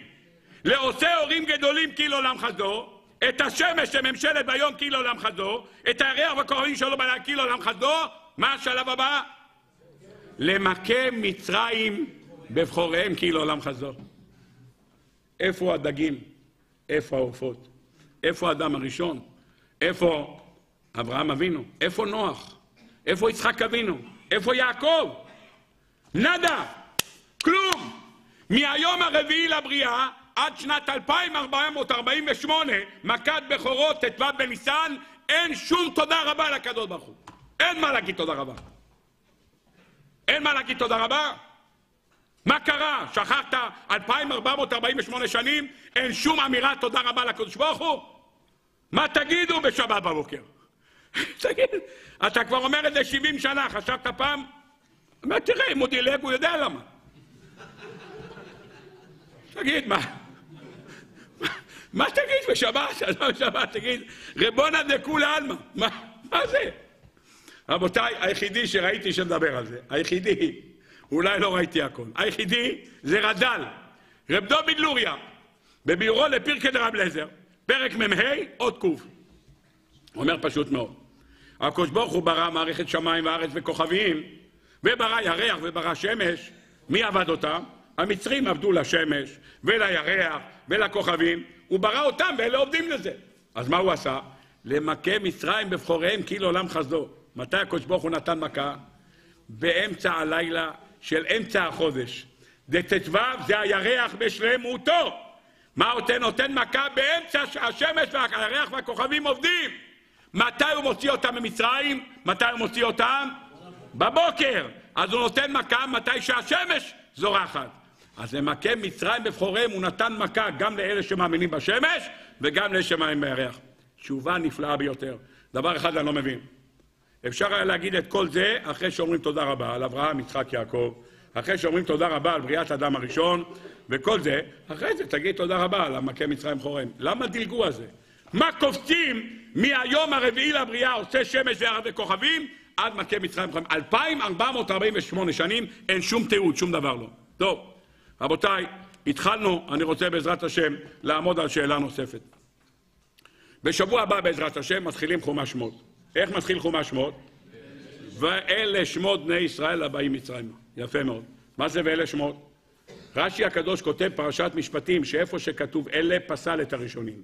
איפה שכתוב ואלה מוסיף על הראשונים. אם כתוב ואלה המשפטים אשר תשים לפניהם סימן שמה, סימן שמה, מוסיף על הראשונים. מה אלה מסיני יפה אלה מסיני.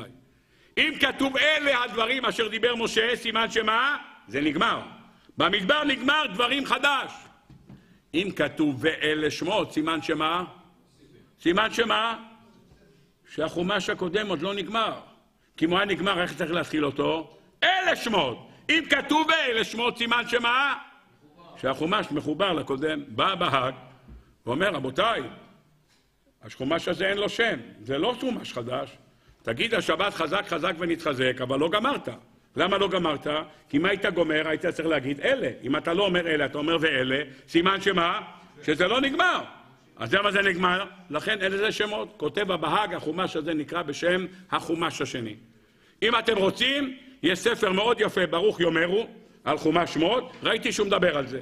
אם אתם רוצים, תעיינו שמה, יש לו מאמר בהרחבה. אני רוצה עכשיו ללכת לתירוץ אחר, שלא כתוב שמה. רבותיי, אם כתוב ואלה שמות, סימן שהחומש הקודם עוד לא נגמר. אם החומש הקודם עוד לא נגמר, צריך לדעת למה הוא לא נגמר. מה לא נגמר, איפה ה finish שלא גמרת, שאתה צריך להתחיל להתחיל, ואלה שמות. טוב, אלה הדברים. אני רוצה בעזרת השם ללכת לפסוק בפרק ד' בחומש שמות. ואמרת אל פרעה, הקדוש ברוך הוא מגייס את מוישה רבינו להיות מנהיגם של ישראל. והוא אומר למוישה רבינו, ואמרת אל פרעה, כה אמר השם בני בכורי ישראל. ואומר אליך שלח את בני ויעבדני, ותמאן לשלחו, הנה אנוכי הורג את בנך בכוריך. שמעת? בבקשה תיגש לפרעה ותגיד לו, בני בכורי ישראל. אם אתה לא תשחרר אותם, אני הורג את הבן הבכור שלך. מי זה הבן הבכור שלך? מכת בכורות. כל הבכורים במצרים, כולם ימותו. טוב, נפלא ביותר. כותב רש"י, שם פרשת שמות, כותב רש"י, כאן חתם הקדוש ברוך הוא על מכירת הבכורה שלקח יעקב מעשיו. עד עכשיו זה התנהל באוויר.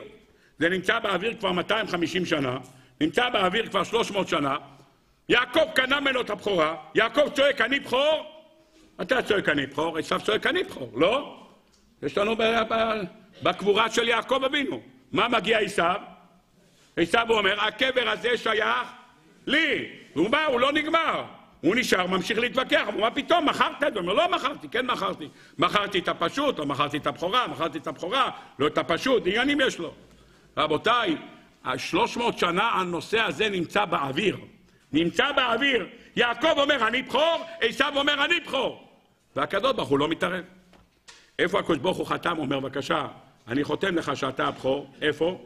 פרשת שמות. בני בכורי ישראל. ישראל הוא יעקב אבינו, הוא הבכור. כאן חתם הקדוש ברוך הוא. רבותיי, מה קרה? מה חיכו 300 שנה עד החתימה? למה חכים עד עכשיו? מה קרה עכשיו? טוב, רבותיי, אחרי שלמדנו את היסוד הזה, בואו ניכנס, ברשותכם, לסוגיה. כדי להבין מה מונח כאן, הייתי רוצה לעמוד על נקודה. אנחנו השבת, בעזרת השם, נסיים את חומש בראשית. מי שזוכר את הפסוק הראשון בחומש בראשית, אומרת התורה, בראשית ברא אלוקים את השמיים ואת הארץ. מה כותב שם רש"י? מה כותב רש"י? בראשית, בשביל ישראל שנקראו ראשית, ובשביל התורה שנקראת ראשית. בשביל מה הקדוש ברוך הוא ברא את העולם? בשביל מה? שתי מטרות, ישראל והתורה. מתי יצא לעולם ישראל? מתי יצא לעולם התורה? מתי זה יצא? מתי זה יצא? התורה באה בשנת 2448. עם ישראל תלוי מאיפה אתה מחשיב אותו. אם אתה מחשיב אותו מאברהם אבינו, זה שנת 2000 לבריאת העולם. העולם נברא 2000 שנה קודם. לפני שיש ישראל בעולם, ולפני שיש יהודים בעולם. ולפני שיש תורה בעולם. היא עד התורה 2448 שנים עומד העולם, מסתובב עם גלגלים, עם כולם, למה? בעוד 2,448 שנים תינתן תורה לעם ישראל, ושם הקדוש ברוך הוא יכריז בני בכורי ישראל, כמו שכותב הגמרא במסכת שבת, על פ"ט עמוד ב', כמו שכותב שם רש"י. רבותיי, מה זה? אומרים לנו רבותינו, ונשאיר את זה בקבלת שבת, סוף מעשה במחשבה תחילה. סוף מעשה, התכלית, הסוף הוא התכלית במחשבה תחילה. דהיינו, אם אני הולך לפתוח חנות, הולך לפתוח חנות, אני שוכר מקום ומכניס אותו לשיפוצים, ואני פותח חנות נעליים, אז אני הולך אחר כך לנווה והולך ליבואן וקונה נעליים, ועושה ארונות, וסולם, וזה, ונשלף, בקיצור, הולך לעשות פרוצדורה.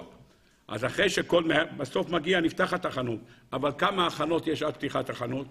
שוכרים אותה, משפצים אותה, קונים נעליים, מכניסים לארונות, שמים חלון ראווה, מביאים את זה, אחרי זה יוצא, פותחים חנות. כמה זמן זה לוקח?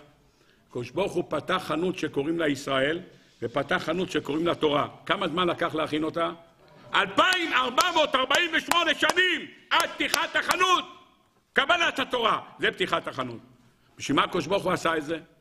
אתה יודע בשביל מה הוא עשה את זה? בגלל סיבה אחת. רבותיי, מה היה בבריאת העולם? הקדוש ברוך הוא הביא לעולם מה שאתה רוצה. כפתורים, תשלוחים, כפתוחים, כל מה שאתה רוצה שם, כפתורים, חוטים, כל מה שנגמר במ"ם סופית. הכל יש לך שם, הוא ברא בעולם. בשביל מה הוא ברא את זה? סינים, כנען, פוט, חוט, כולם. בשביל מה זה? בשביל מה הוא ברא אותם? שבעים אומות נבראו לפני שבא עם ישראל לעולם.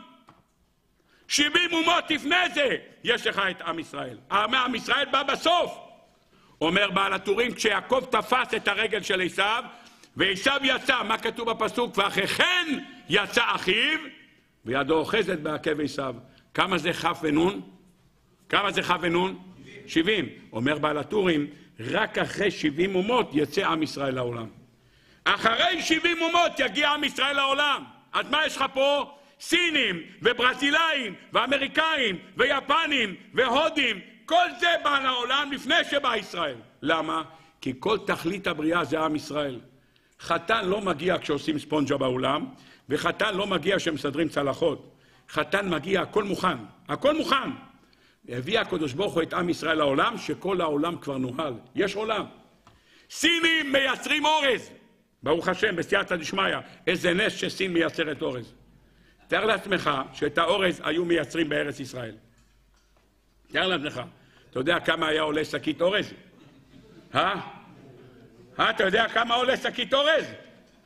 תעשה חשבון. היום זה בא מסין, כמה עולה? חמש שקל, נכון? בוואקום עשר, לא? כמה עולה? יפה מאוד. תאר לעצמך, זה היה בא כאן בארץ ישראל, היו מגדלים את זה פה במושב בשרון. אתה משלם מים, בזמן שלא יורד גשם, אתה מרד תעיף מים. במקום זה אתה משלם תעריף של זה, אדמה חקלאית, מעביר חקלאות, ואתה משלם מיסים וארנונה ודוס ויאנס, אה, אתה יודע מה עולה קילו אורז? 180 שקל, שקית אורז. היית מקבל אורז לאכול עם מקלות כמו הסינים. היית תופס אותם אחד-אחד. מזל שהם מגדלים סינים, ברוך השם מגדלים אורז, בסייעתא דשמיא. זה בא, ברוך השם, בשפע.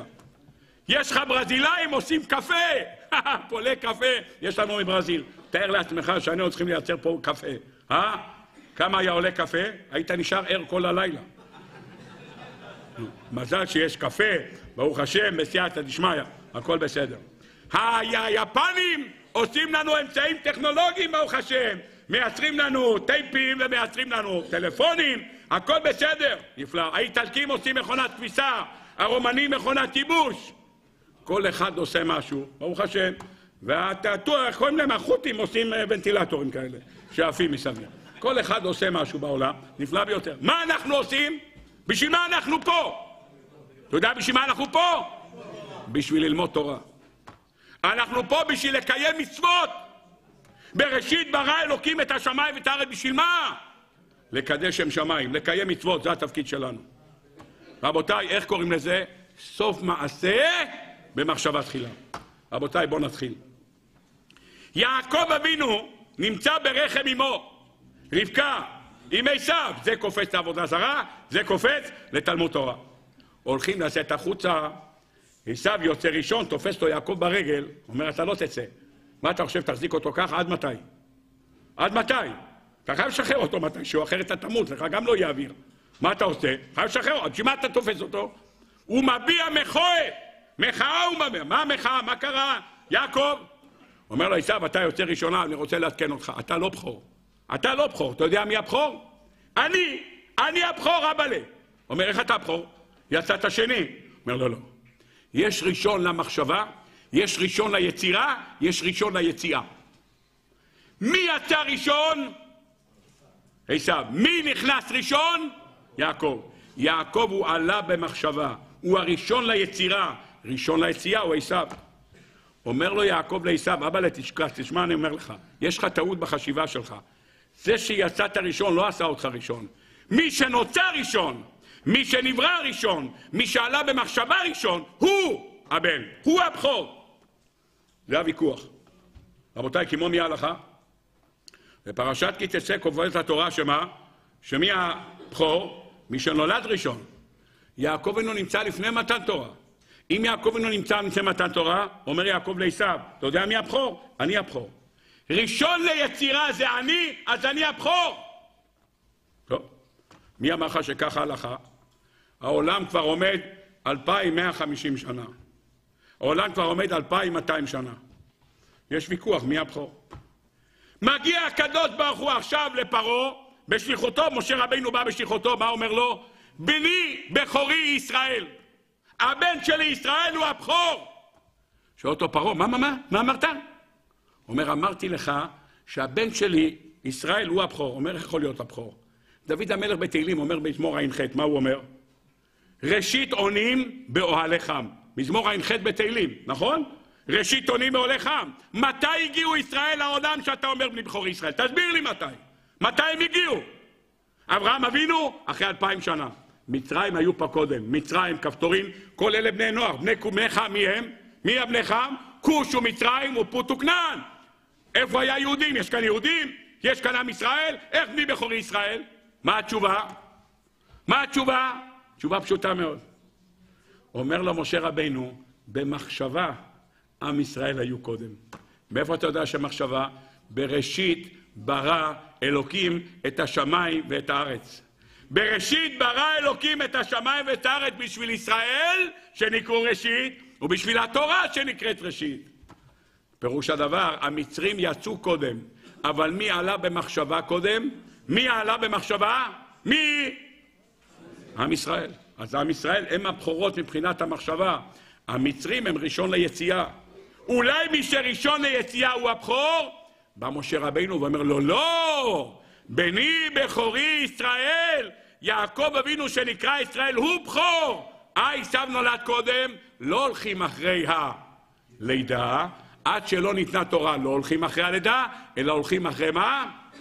הולכים אחרי המחשבה. מה המחשבה? יעקב אבינו הוא ראשון ליצירה, עם ישראל הוא ראשון למחשבה.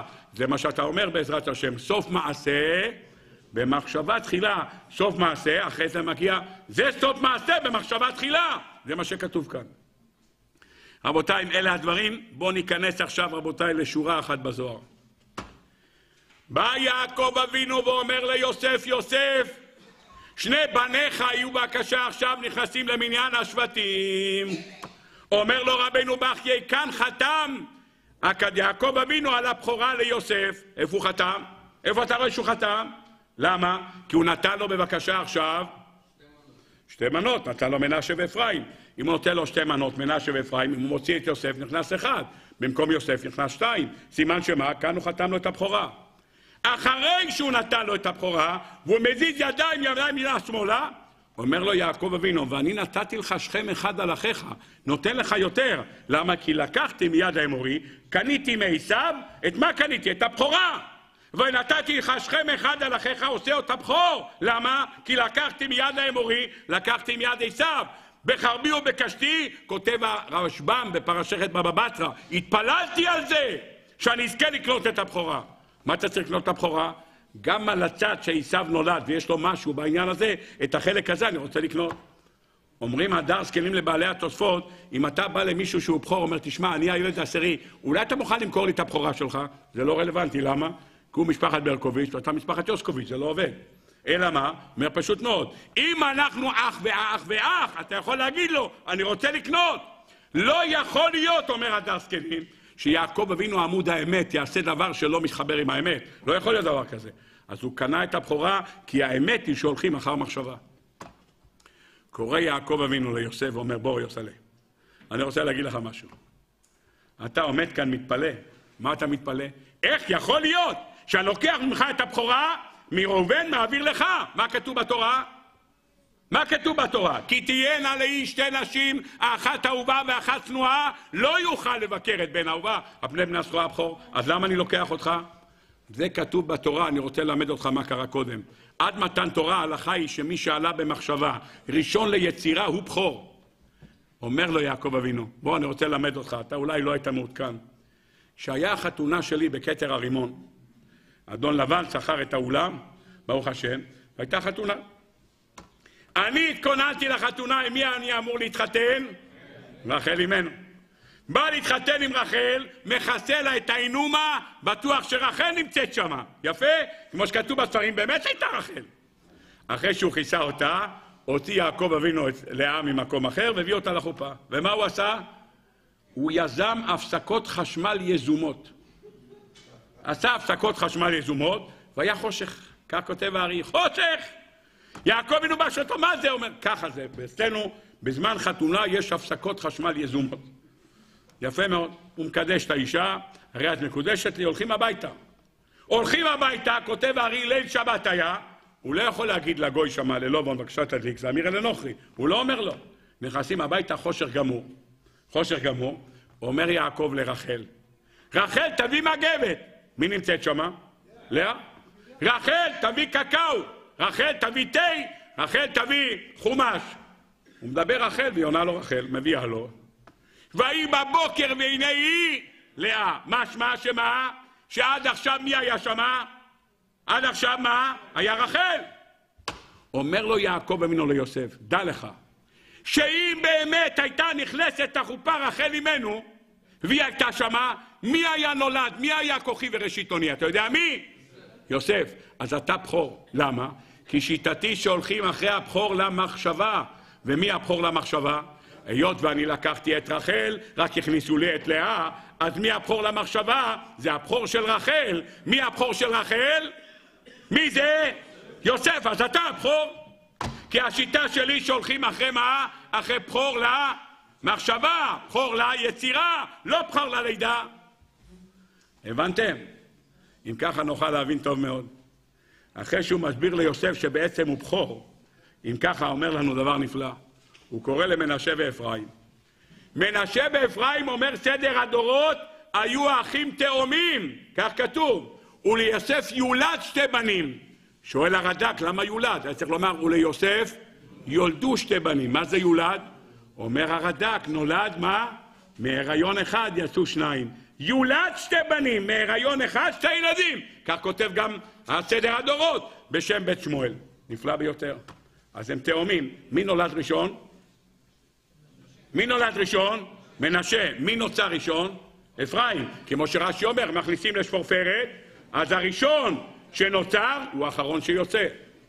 מעמיד עכשיו מנשה, יוסף את מנשה בצד ימין ואת אפרים בצד שמאל. למה? כי מבחינתו הוא נולד ראשון. הוא נולד ראשון, והוא נולד שני. מה עושה יעקב אבינו? לוקח את היד הזאת ושם על ראש אפרים, ואת היד הזאת על ראש מנשה, אומר לו, אבא, מה אתה עושה? אמר לו, מותק, תזכור, שלקחתי את הבכורה מראובן נתתי לך. למה נתתי לך? למה? ונתתי לך שכם אחד על אחיך. למה נתתי לך שכם אחד על אחיך? כי הולכים אחרי מה? אחר המחשבה, אחר היצירה. אם יש לך תאומים מנשה ואפרים, מי נוצר ראשון? אפרים. מי נוצר ראשון? מנשה. אז הנוצר ראשון הוא אפרים, והיוצא ראשון הוא מנשה. ולשיטתו של יעקב אבינו, מי הראשון? מי שנוצר ראשון. יעקב אבינו נוצר לפני עשיו, אז אני הבכור. אם אני הבכור, אז הבכורה שייכת לי. לכן הוא אומר, אני נותן לך שכם אחד על אחיך, כי אתה במחשבה היית אצלי. למה? כי בחופה הכניסו את לאה, אבל על מי הייתה דעתי נתונה? על מי המחשבה שלי הייתה? חשבתי על רחל, ועם כוחי וראשית אוני, אז מי היה צריך להיוולד? יוסף הצדיק. אז אתה הבכור. אה, הכניסו לי את לאה, כניסה זה לא מוריד אותך מלהיות פחור. למה? כי הדעה שלי והולכים אחרי קו המחשבה, הקו המחשבה של יצחק אבינו היה להביא את עשיו לעולם ראשון, או הקו המחשבה שלו היה להוציא את יעקב אבינו ראשון? מה הוא רצה, מישהו שממשיך את הדרך שלו בעבודת השם, או איזה צ'וליק שרץ אחרי חתולות? את מי רצית שהוא יביא? את מי? את יצחק? יביא את עשיו או את יעקב? שהוא חשב להעמיד יקום, להעמיד גלדות, על מה הוא חשב? הוא חשב על יעקב, אז יצא לו עשיו. עשיו הוא הקליפה של יעקב אבינו, הוא השומר לפרי שמגן עליו לפני שיוצאים החוצה. זה הוויכוח. אומר לו יעקב, אומר לו יוסף, אבא, לא, אתה לא עושה טוב, הוא הבכור. אומר לו, ידעתי בני ידעתי, אני יודע הכל, אבל תדע לך שאני רוצה לומר דבר אחד. הבכור לשיטתי, אתה יודע מי הבכור? הבכור הוא זה שנוצר ראשון, ואפרים נוצר לפני מנשה, אז הוא הבכור. אלה הדברים.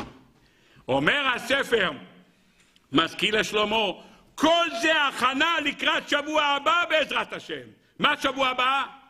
עומד משה לפני פרעה ומה אומר לו? בני בכורי ישראל, כאן חתם שמי הוא הבכור? מי הבכור? מי שנוצר ראשון. נוצר ראשון הוא הבכור, בני בכורי ישראל. איך בנך בכורה ישראל? איך יכול להיות? למה? הבן שלך הוא לא בכור ישראל. יש מצרים, יש פוט, יש כנען, יש כפתורים. על מה אתה מדבר איתי? אלא מה? ישראל עלו במחשבה, אז הם ראשונים. אם עלו במחשבה הם ראשונים, כאן חתם על קניית הבכורה. זה הקנייה של הבכורה, כאן הוא חתם, אומר רש"י. למה?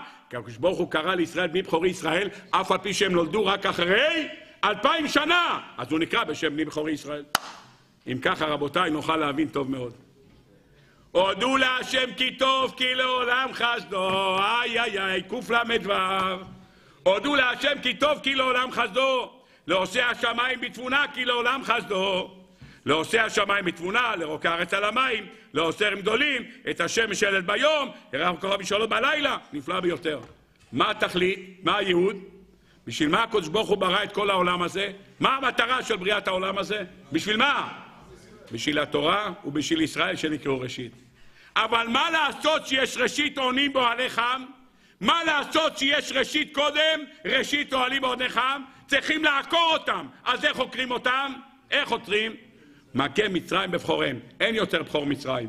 ברגע זה יוצא לאור עולם, מה? בראשית ברא אלוקים בשביל ישראל שנקרא ראשית, ובשביל התורה שנקראת ראשית. בא המהר"ל ואומר דבר נפלא ביותר. אומר המהר"ל, עשרת המכות מכוונות כנגד עשרה מאמרות. אם אתם רוצים, יש בהגדה של פסח נעימות יאמרו, תראו, לקרוא את זה בפנים. רבותיי, עשר מכות מול עשר מאמרות. ויאמר אלוקים יהי אור. מה כנגדו? ויאמר אלוקים יהיה חושך. חושך זה כנגד ויהי אור של הבריאה.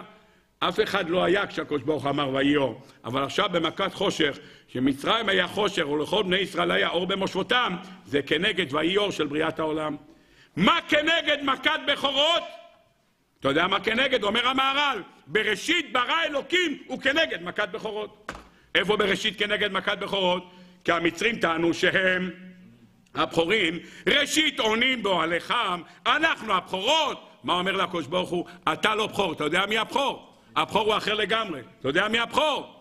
עם ישראל, בריש יסבור אלוקים, בשביל ישראל שנקראו ראשית, ובשביל התורה שנקראת ראשית. בשביל זה הקדוש ברוך הוא ברא את העולם. אלה הדברים שאומרים לרבותינו. אם ככה, רבותיי, בואו נלך עוד שלב אחד. אומר הספר שמן ראש. כתוב בספר זרע ברך, כתוב בפסוק, ויקרא לבנו ליוסף. שואל הספר זרע ברך, מה זה לבנו ליוסף? ויקרא או לבנו או ליוסף. מה זה לבנו ליוסף? צריך לומר שמה? ויקרא לבנו יוסף, או ויקרא ליוסף בנו. מה זה ויקרא לבנו ליוסף? כך שואל הספר זרע ברך. אומר הספר זרע ברך, אני רוצה לומר לך דבר נפלא. דע לך, שיעקב אבינו קרא גם לראובן. למה? אם כתוב וישתחו ישראל על ראש המיטה, מה זה וישתחו ישראל על ראש המיטה? אמרנו מה זה? מה זה ראש המיטה? שהודה לקדוש ברוך הוא על מה? שראובן עשה תשובה. איפה אתה רואה פה שעשה תשובה? מה נכנס כאן עכשיו? אומר הספר זרע ברך בוא ותדע כי היה יעקב אבינו כשהוא הלך להעביר את הבכורה מיוסף לראובן הוא לא עשה לו את זה מאחורי הגב ויקרא לבנו, מי זה הבן שלו? ראובן נקרא ראובן. ראובן זה הכוונה לבן הבכור שלו. ראובן! ויקרא לבנו, תקראו בבקשה לראובן. אומר, הזה, אומר הספר, אומר הספר ילקוט שמעוני, אומר שמה למטה, הזית רענן, ראובן הוא ראש המיטה. למה הוא ראש המיטה? כי הוא הבכור. ויקרא לראובן, בבקשה תקראו לו. ויקראו לבנו זה ראובן, יוסף זה יוסף, בבקשה תקראו לשניהם. ומה הוא אומר לו? ראובן, אני רוצה לומר לך, אתה כוחי וראשית אוני, אבל עכשיו אני הולך להעביר את, המלוך, את הבכורה ליוסף. אני הולך לעשות את זה. אתה רוצה לדעת למה? כי השיטה שלי, שהולכים אחר המחשבה ולא אחר הלידה. והיות במחשבה הייתה שם רחל, והיא הייתה אמורה להיות, ואתה לא היית מודע לזה, אתה לא היית פה בעולם בחתונה. גם אין תמונות. למה אין תמונות? כי לבן עשה חושך. עשה חושך, גם אין תמונות. אני לא יכול להראות לך מה היה. כשגמרו את החתונה הזאת, כולם אמרו, חתונה כזאת לא הייתה. למה? כי לא רואים את החתונה הזאת. לא ראו, חתונה כזאת לא רואים, באמת לא ראו שום דבר. אומר לו, אין תמונות, אבל אני אספר לך מה היה. סבא שלך, לבן, הכניס את אימא שלך לחופה, שהיית אמור להתחתן עם רחל. דעתי הייתה נתונה על רחל. ובתר מחשבה אזינן, לא בתר יציאה. למילא יוסף הוא הבכור. אם יוסף הוא הבכור, תוותר על הבכורה. ראובן ויתר, אמר אבא אני הולך איתך עד הסוף. אומרים חז"ל, כאן ראובן עשה תשובה. למה ראובן עשה תשובה? כי ראובן מה עשה? בלבל את יצואי אביו. למה הוא בלבל את יצואי אביו? למה? הוא אמר, תשמע, רחל נפטרה, אז איפה צריך יעקב לישון? באוהל של אימא שלי. למה היא אצל לאה? כי לאמא, לאה, מה היא? היא האישה, היא גבירה. הוא הולך לאוהל בילה שהיא שפחה, לשפרת רחל הוא הולך, לקח את המיטה של אבא שלו ושם שם. מה, מה, מה? אתה אומר לי איפה לשים את המיטה? אתה בסדר, אתה עלבון אמו טבע, ועלבון אביו לא טבע. אני לא נמצא פה, מה אתה עושה דברים לבד? ראובן ישב בשקו ותעניתו על בלבול יצואי אביו. עשה אבל, התאבל על זה. אומר לו יעקב, עכשיו אתה יכול לתקן. אני הולך עכשיו להעביר את הבכורה ממך ליוסף. אם אתה תעשה הפגנות, סימן שאתה נגד מה שאני אומר. אבל אם תקבל את זה באהבה וברצון, ותגיד, אבא, אני מסכים למה שאמרת, שבכור הוא בכור ליצירה, עשית תשובה. אמר לו ראובן, אני מקבל את זה באהבה, אבא, אני מסכים איתך. וישתחו ישראל על ראש המיטה, אומר המדרש, שהודה לקדוש ברוך הוא שראובן עשה תשובה. זה פירוש הדבר, ויקרא לבנו ליוסף. מה זה לבנו ליוסף? לבנו זה ראובן, ליוסף זה יוסף, שניים הוא קרא כדי לומר לראובן, אני לוקח ממך את הבכורה ומעביר ליוסף, בוא נראה אם אתה מסכים לדברים או לא. אם ככה למדנו כאן את היסוד הגדול שיש לנו בפרשה, שיעקב רצה להכניס לנו את המידע הזה שעד מתן תורה הולכים אחר בכור ליצירה, בכור למחשבה. ממתן תורה ואילך הולכים אחר מה? אחר הלידה. לכן כשיעקב מסכל את ידיו, הוא אומר ליוסף, נתתי לך שכם אחד על אחיך, למה אתה לא שואל למה? למה אתה לא שואל למה? אני נותן לך את הבכורה, למה אתה שואל לא שואל למה? הרי אח שלי הבכור. אתה סומך עליי, כי אתה יודע שהולכים אחר המחשבה, ובמחשבה רחל אמנו הייתה אמורה להיות בחתונה, אם רחל אמנו הייתה בחופה, אז ממילא מי הבכור יוסף הצדיק? אתה מקבל את זה? קבל בבקשה, ידעתי בני ידעתי, אני יודע, אבל לפי מי הבכור? שיש תאומים מנשה ואפרים, מי הבכור? הבכור הוא זה שנולד, או הבכור הוא זה שנוצר? מי הבכור? הבכור הוא זה שנוצר. אפרים נוצר לפני מנשה. אלה הדברים שיש לנו כאן בסייעתא דשמיא. אחרי שלמדנו את היסוד הזה, נוכל בעזרת השם להתחיל את הפרשה. שימו לב. רבותיי, הפרשה שלנו מסתיימת. במילים, הפרשה הזאת מסתיימת, אשר לקחתי מיד האמורי בחרבי ובקשתי. זה הסיום. רביעי, זה הסיום של הפרשה הזאת, של מנשה ואפרים ונטילת הבכורה מראובן, נתינתה ליוסף, זה קראנו עד עכשיו. איזה מילים זה נגמר? ואני נתתי לך שכם אחד על אחיך, אשר לקחתי מיד האמורי בחרבי ובקשתי. עד כאן הדברים. רבותיי, שימו לב. התורה, כך אומרת הגמרא במסכת סוטה, סוף פרק א' בסוטה, אומרת הגמרא. התורה תחילתה חסד וסופה חסד. תחילתה חסד מה? איפה? ויעש השם לאדם ולאשתו כותנות אור וילבישם. סופה חסד, מה? ויקבור אותו בגיא. יופי. אז מה עם תחילתה חסד וסופה חסד? מה זה אומר? מה זה אומר? שכולה חסד. אם מתחיל וזה נגמר מההתחלה ועד הסוף, אז הציר המרכזי בתורה זה חסד, זה מה שכתוב כאן. בראשית תחילתו תפילה וסופו תחילה. מההתחלה, מבראשית בור אלוקים עד ויחי, הכל תפילה, אין משהו אחר. אתה רוצה? בבקשה. ואדם עין לעבוד את האדמה, מה כתוב ברש"י? מה זה אדם עין לעבוד את האדמה? אין אדם מכיר בטובתם של גשמים ולא יתפלל עליהם, וכשיתפלל עליהם ירדו גשמים. לומר לך שגשם לא יורד בלי תפילה. מתחילים את הבריאה של העולם, הצמחים עומדים למטה, שתי סנטימטר, לא מתרוממים. שואל האדם הראשון, אומר לו, מה, מה זה פה? מה? אומר לו, זה עץ תפוחים. אז למה זה כזה קטן? אז לא היה לימונינה ותפוזינה כאלה קטנים. הוא שואל אותו, מה זה? אומר, אף אחד לא יתפלל, צריך להתפלל שירד גשם. או, מתפלל, מתפלל, יורד גשם, ביום אחד הכל צמח, בבת אחת. יופי, בראבו. תפילה הרימה אותו. נוח! מה יש לנו בנוח? אומר הקדוש ברוך הוא לנוח, מה תדע לך? המבול נקרא על השם שלך. למה הוא נקרא על השם שלך? כי מי נוח זאת לי. אתה יודע למה? כי לא התפללת. אם היית מתפלל, יכלת להציל את המבול. שוב פעם תפילה. פרשת לך לך, מה יש לנו? אומרת לו שרה אימנו, חמסי עליך. מה זה חמסי? חמס. מה יש חמס? גנבת אותי, אומרת לו שרה אימנו. למה גנבתי אותך? אומרת לו שרה, כשהתפללת בברית בין הבתרים, מה אמרת לקדוש ברוך הוא? מה אמרת לקדוש ברוך הוא? ואנוכי הולך ערירי. למה הכנסת רק אותך? למה לא אמרת, ואנחנו הולכים ערירים? למה הכנסת רק אותך? הכנסת רק אותך, רק אתה נפקדת מהגר. אני לא נפקדתי. זה לך לך. ויירא, עומד אברהם אבינו ומתפלל על סדום, אולי חמישים, אולי ארבעים, חמישה, אולי ארבעים, אולי שלושים. ואברהם אבינו שם מתקן תפילת השרית.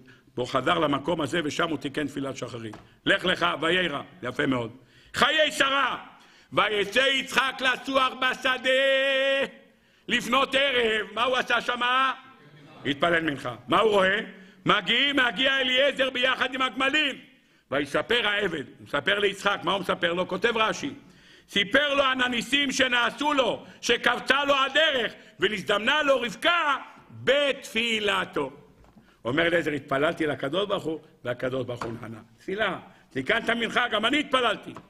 מגיע פרשת תולדות, ויעתר יצחק להשם, לנוכח אשתו כי הכרה היא תפילה בלשון אתר, כמו קלשון, הוא הפך את התפילה, ויעתר לו השם.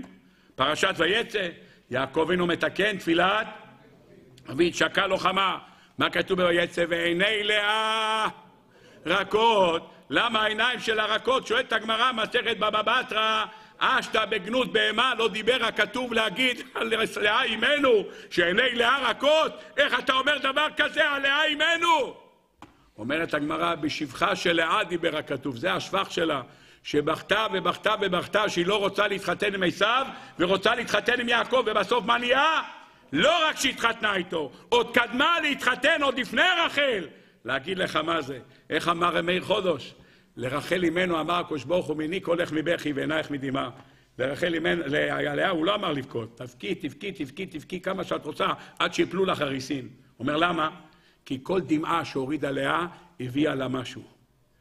לאה אימנו זכתה לכתר תורה, יששכר, כתר מלכות יהודה וכתר תורה. מה יש לה? שבט לוי. שלושת הכתרים האלה, שלושה כתרים הם כתר תורה, כתר כהונה, כתר מלכות, הכל אצל לאה. שם כל דמעה בונה.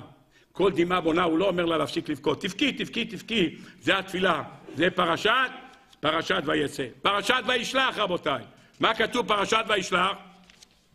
יעקב אבינו נלך להילחם במיסיו, למה הוא נערך? לדורון, לתפילה ולמלחמה. אם יהיה אלוקים עמדי ושמרני, יעקב אבינו מתפלל, מתפלל גם מיסיו, פן יבוא והיכני אם על בנים, ואתה אמרת, תפילה רבותיי.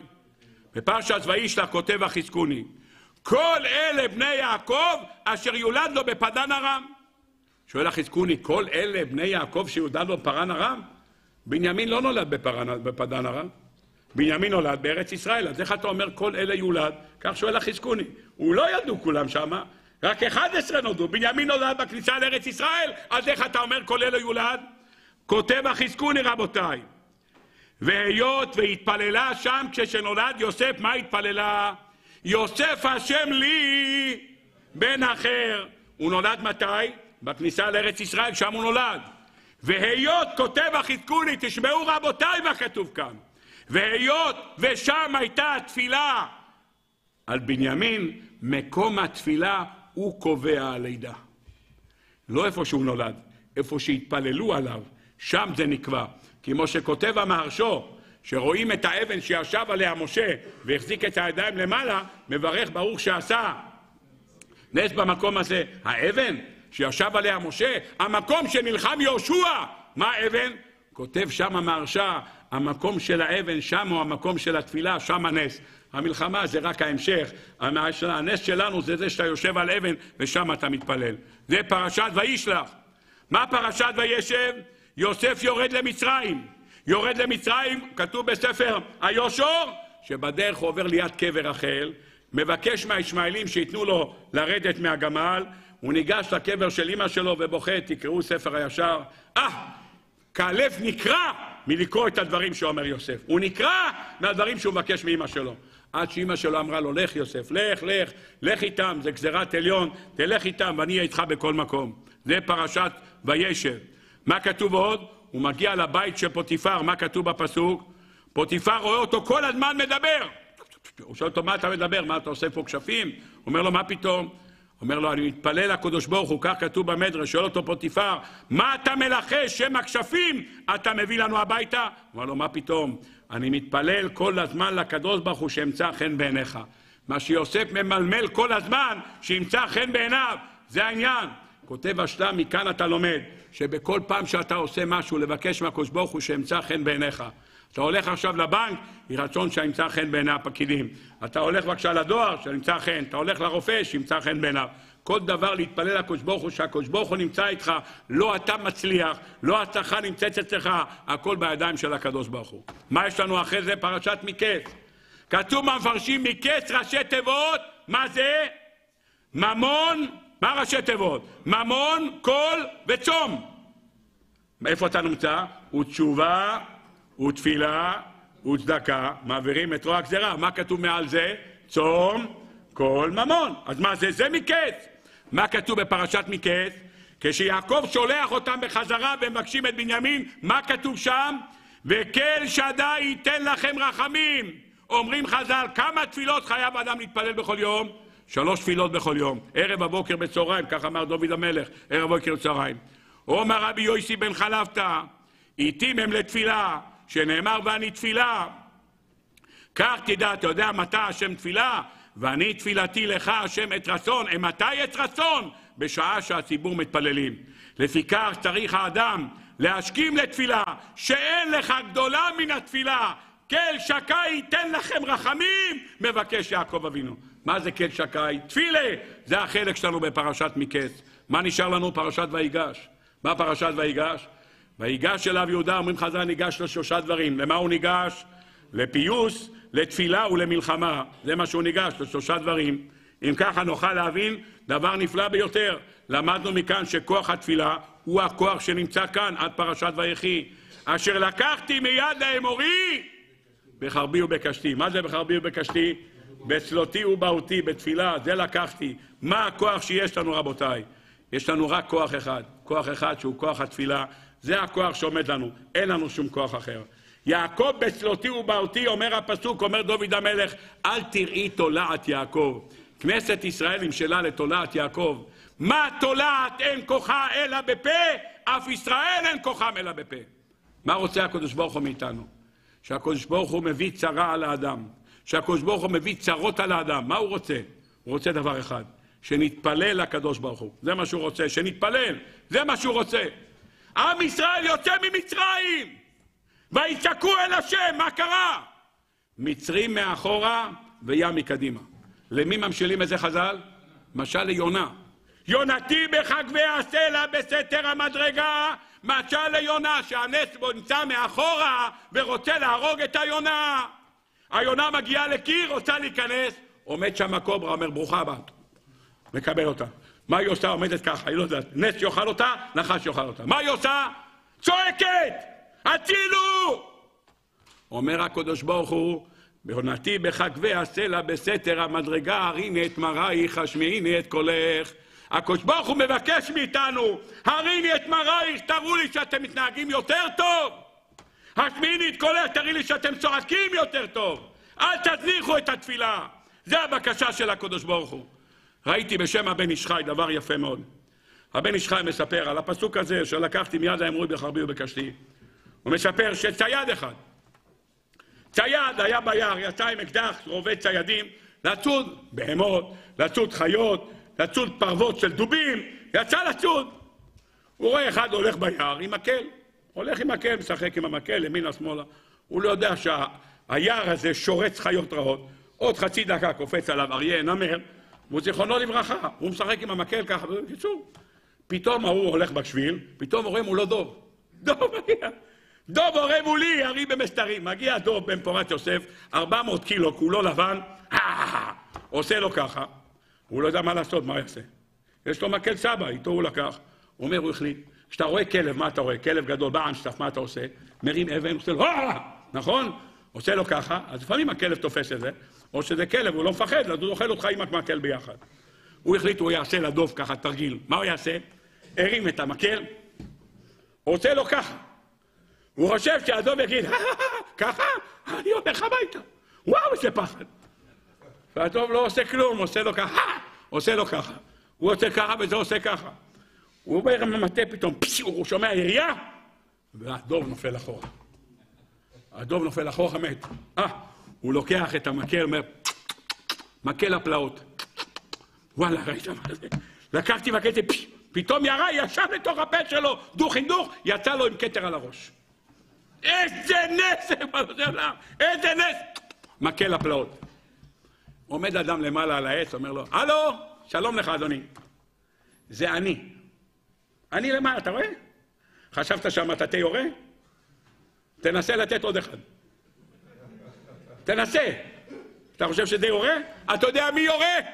אתה יודע מי ירה? אני! זה אני, הנה, זה האקדח. אני לוקח אותו עכשיו, עושה מהאור שלו עכשיו, מוכר אותו בפריז, מוכר אותו בווינה, מוכר שם, צריכים דובונים כאלה, כיכר שם, יופי, בראבו. אומר הבן איש חי, אמר להם יעקב אבינו, נכון נלחמתם בשכם, היה לכם מלחמה, נלחמתם, אבל אתה יודע מי ניצח? אתה יודע מי ניצח? אשר לקחתי מיד האמורי בחרבי ובקשתי, העירייה שלי היא זאת שעזרה. אם הייתם נלחמים בלי התפילות שלי, שום דבר לא היה עוזר. צריכים להילחם, אבל מה עזר? הירייה שלי בצלותי ובהותי, זה שאני יריתי, זה עזר. רבותיי, אם ככה, רק דבר אחד. כשיצאו למלחמת מדיין, אמר משה רבינו, אלף למטה, אלף למטה. מה זה אלף למטה? אומרים חז"ל, מכל שבט לוקחים אלף. אלף למלחמה, אלף על הכלים ואלף מתפללים. אין דבר כזה מלחמה בלי נשק. יוצאים למלחמה. יוצאים למלחמה. מלחמה יוצאים. צריכים כלים במלחמה. אבל צריך לדעת ששליש צריכים להתפלל. אנחנו, מי שלא נמצא כרגע במלחמה, אסור לו לחשוב רגע אחד לבטל רגע אחד מהמחשבה שלו. אני לא במלחמה. אתה לא במלחמה, אתה באלף לתפילה! אתה נמצא בתוך אלף שהקדוש ברוך הוא אומר, יש מלחמה, אתה לא נלחם. אבל תזכור שיש לך תפילה, והקדוש ברוך הוא רוצה את זה. השמיעיני את קולך והריני מערייך. יש לנו נץ מאחורה ונחש מקדימה. תראו איך שאתם רוצים. אם הנץ זה החמאס והנץ הוא חיזבאללה. איך שאתם רוצים. אם זה חיזבאללה וזה ה... תראו איך שאתם רוצים. או החות'ים או התותים או איראן, לא אכפת לי מי. הקדוש ברוך הוא שם כאן שני דברים משני צדדים. ויש לך נץ מכאן ונחש מפה. מה עושים? הריני את מרייך, השמיעיני את קולך, אומר הקדוש ברוך הוא. אני רוצה לשמוע אתכם. זה מה שאני רוצה. עברו כבר שלושה חודשים, מאז המלחמה, כמעט שלושה חודשים, אנשים יש להם קצת רפיון, קצת רפיון בכוח התפילה. פעם היו אומרים אחד אחד, שמע שיר המעלות מממחקים, והציבור היה עונה. אשא אל ההרים, הציבור עונה. אחד אחד. היום החז"ל אומר, שיר המעלות מממחקים, וחלק זה תפילת הדרך. מכל עוונותיו זה כבר באוטו. באוטו זה כבר העוונות שלו. רבותיי, מה קרה? מה ביקשו ממך? להישאר בבית הכנסת עוד עשר דקות? מה ביקשו ממך? להישאר עוד רבע שעה? מה ביקשו ממך? מה? אנשים נלחמים! אנשים מקיזים את הדם שלהם! תקדיש להם חצי שעה ביום! מה ביקשו? שחרית תישאר עוד רבע שעה, אבינו מלכנו, שיר המעלות, תתפלל, אחרי התפילה נעשית פרקי תהילים כאן. רבותיי, אין דבר כזה לעזוב את כוח התפילה. זה הכוח אשר לקחתי מיד האמורי בחרבי ובקשתי. אנחנו השבת מסיימים בעזרת השם את חומש בראשית. נאמר חזק חזק ונתחזק. נבקש מהקדוש ברוך הוא יתברך שמולד. דבר ראשון, שיחזק את משפחות הנופלים, שבעזרת השם ייתן להם כוחות לעמוד בניסיון הקשה הזה, ויחזק את כל הפצועים, שהקדוש ברוך הוא יביא לכולם רפואה שלמה. יחזק את כל משפחות החטופים, שייתן להם כוח לעמוד עם הניסיון, שיחזק את כל העומדים בניסיונות, כל אחד במיצר שלו, בשידוכים, בבריאות, בפרנסה, בשלום בית, שיחזק הכל את כולם בעזרת השם, ונזכה לחזק חזק ונתחזק, וביד גואל צדק במהרה בימינו אמן. רבי חנניה בן הקשיא אומר, עשה הקדוש ברוך הוא צדקות ישראל, לפיכך בא להם תורה ומצוות שנאמר, לא חופש למען צדקו, ידיד תורה וידיר. Amen.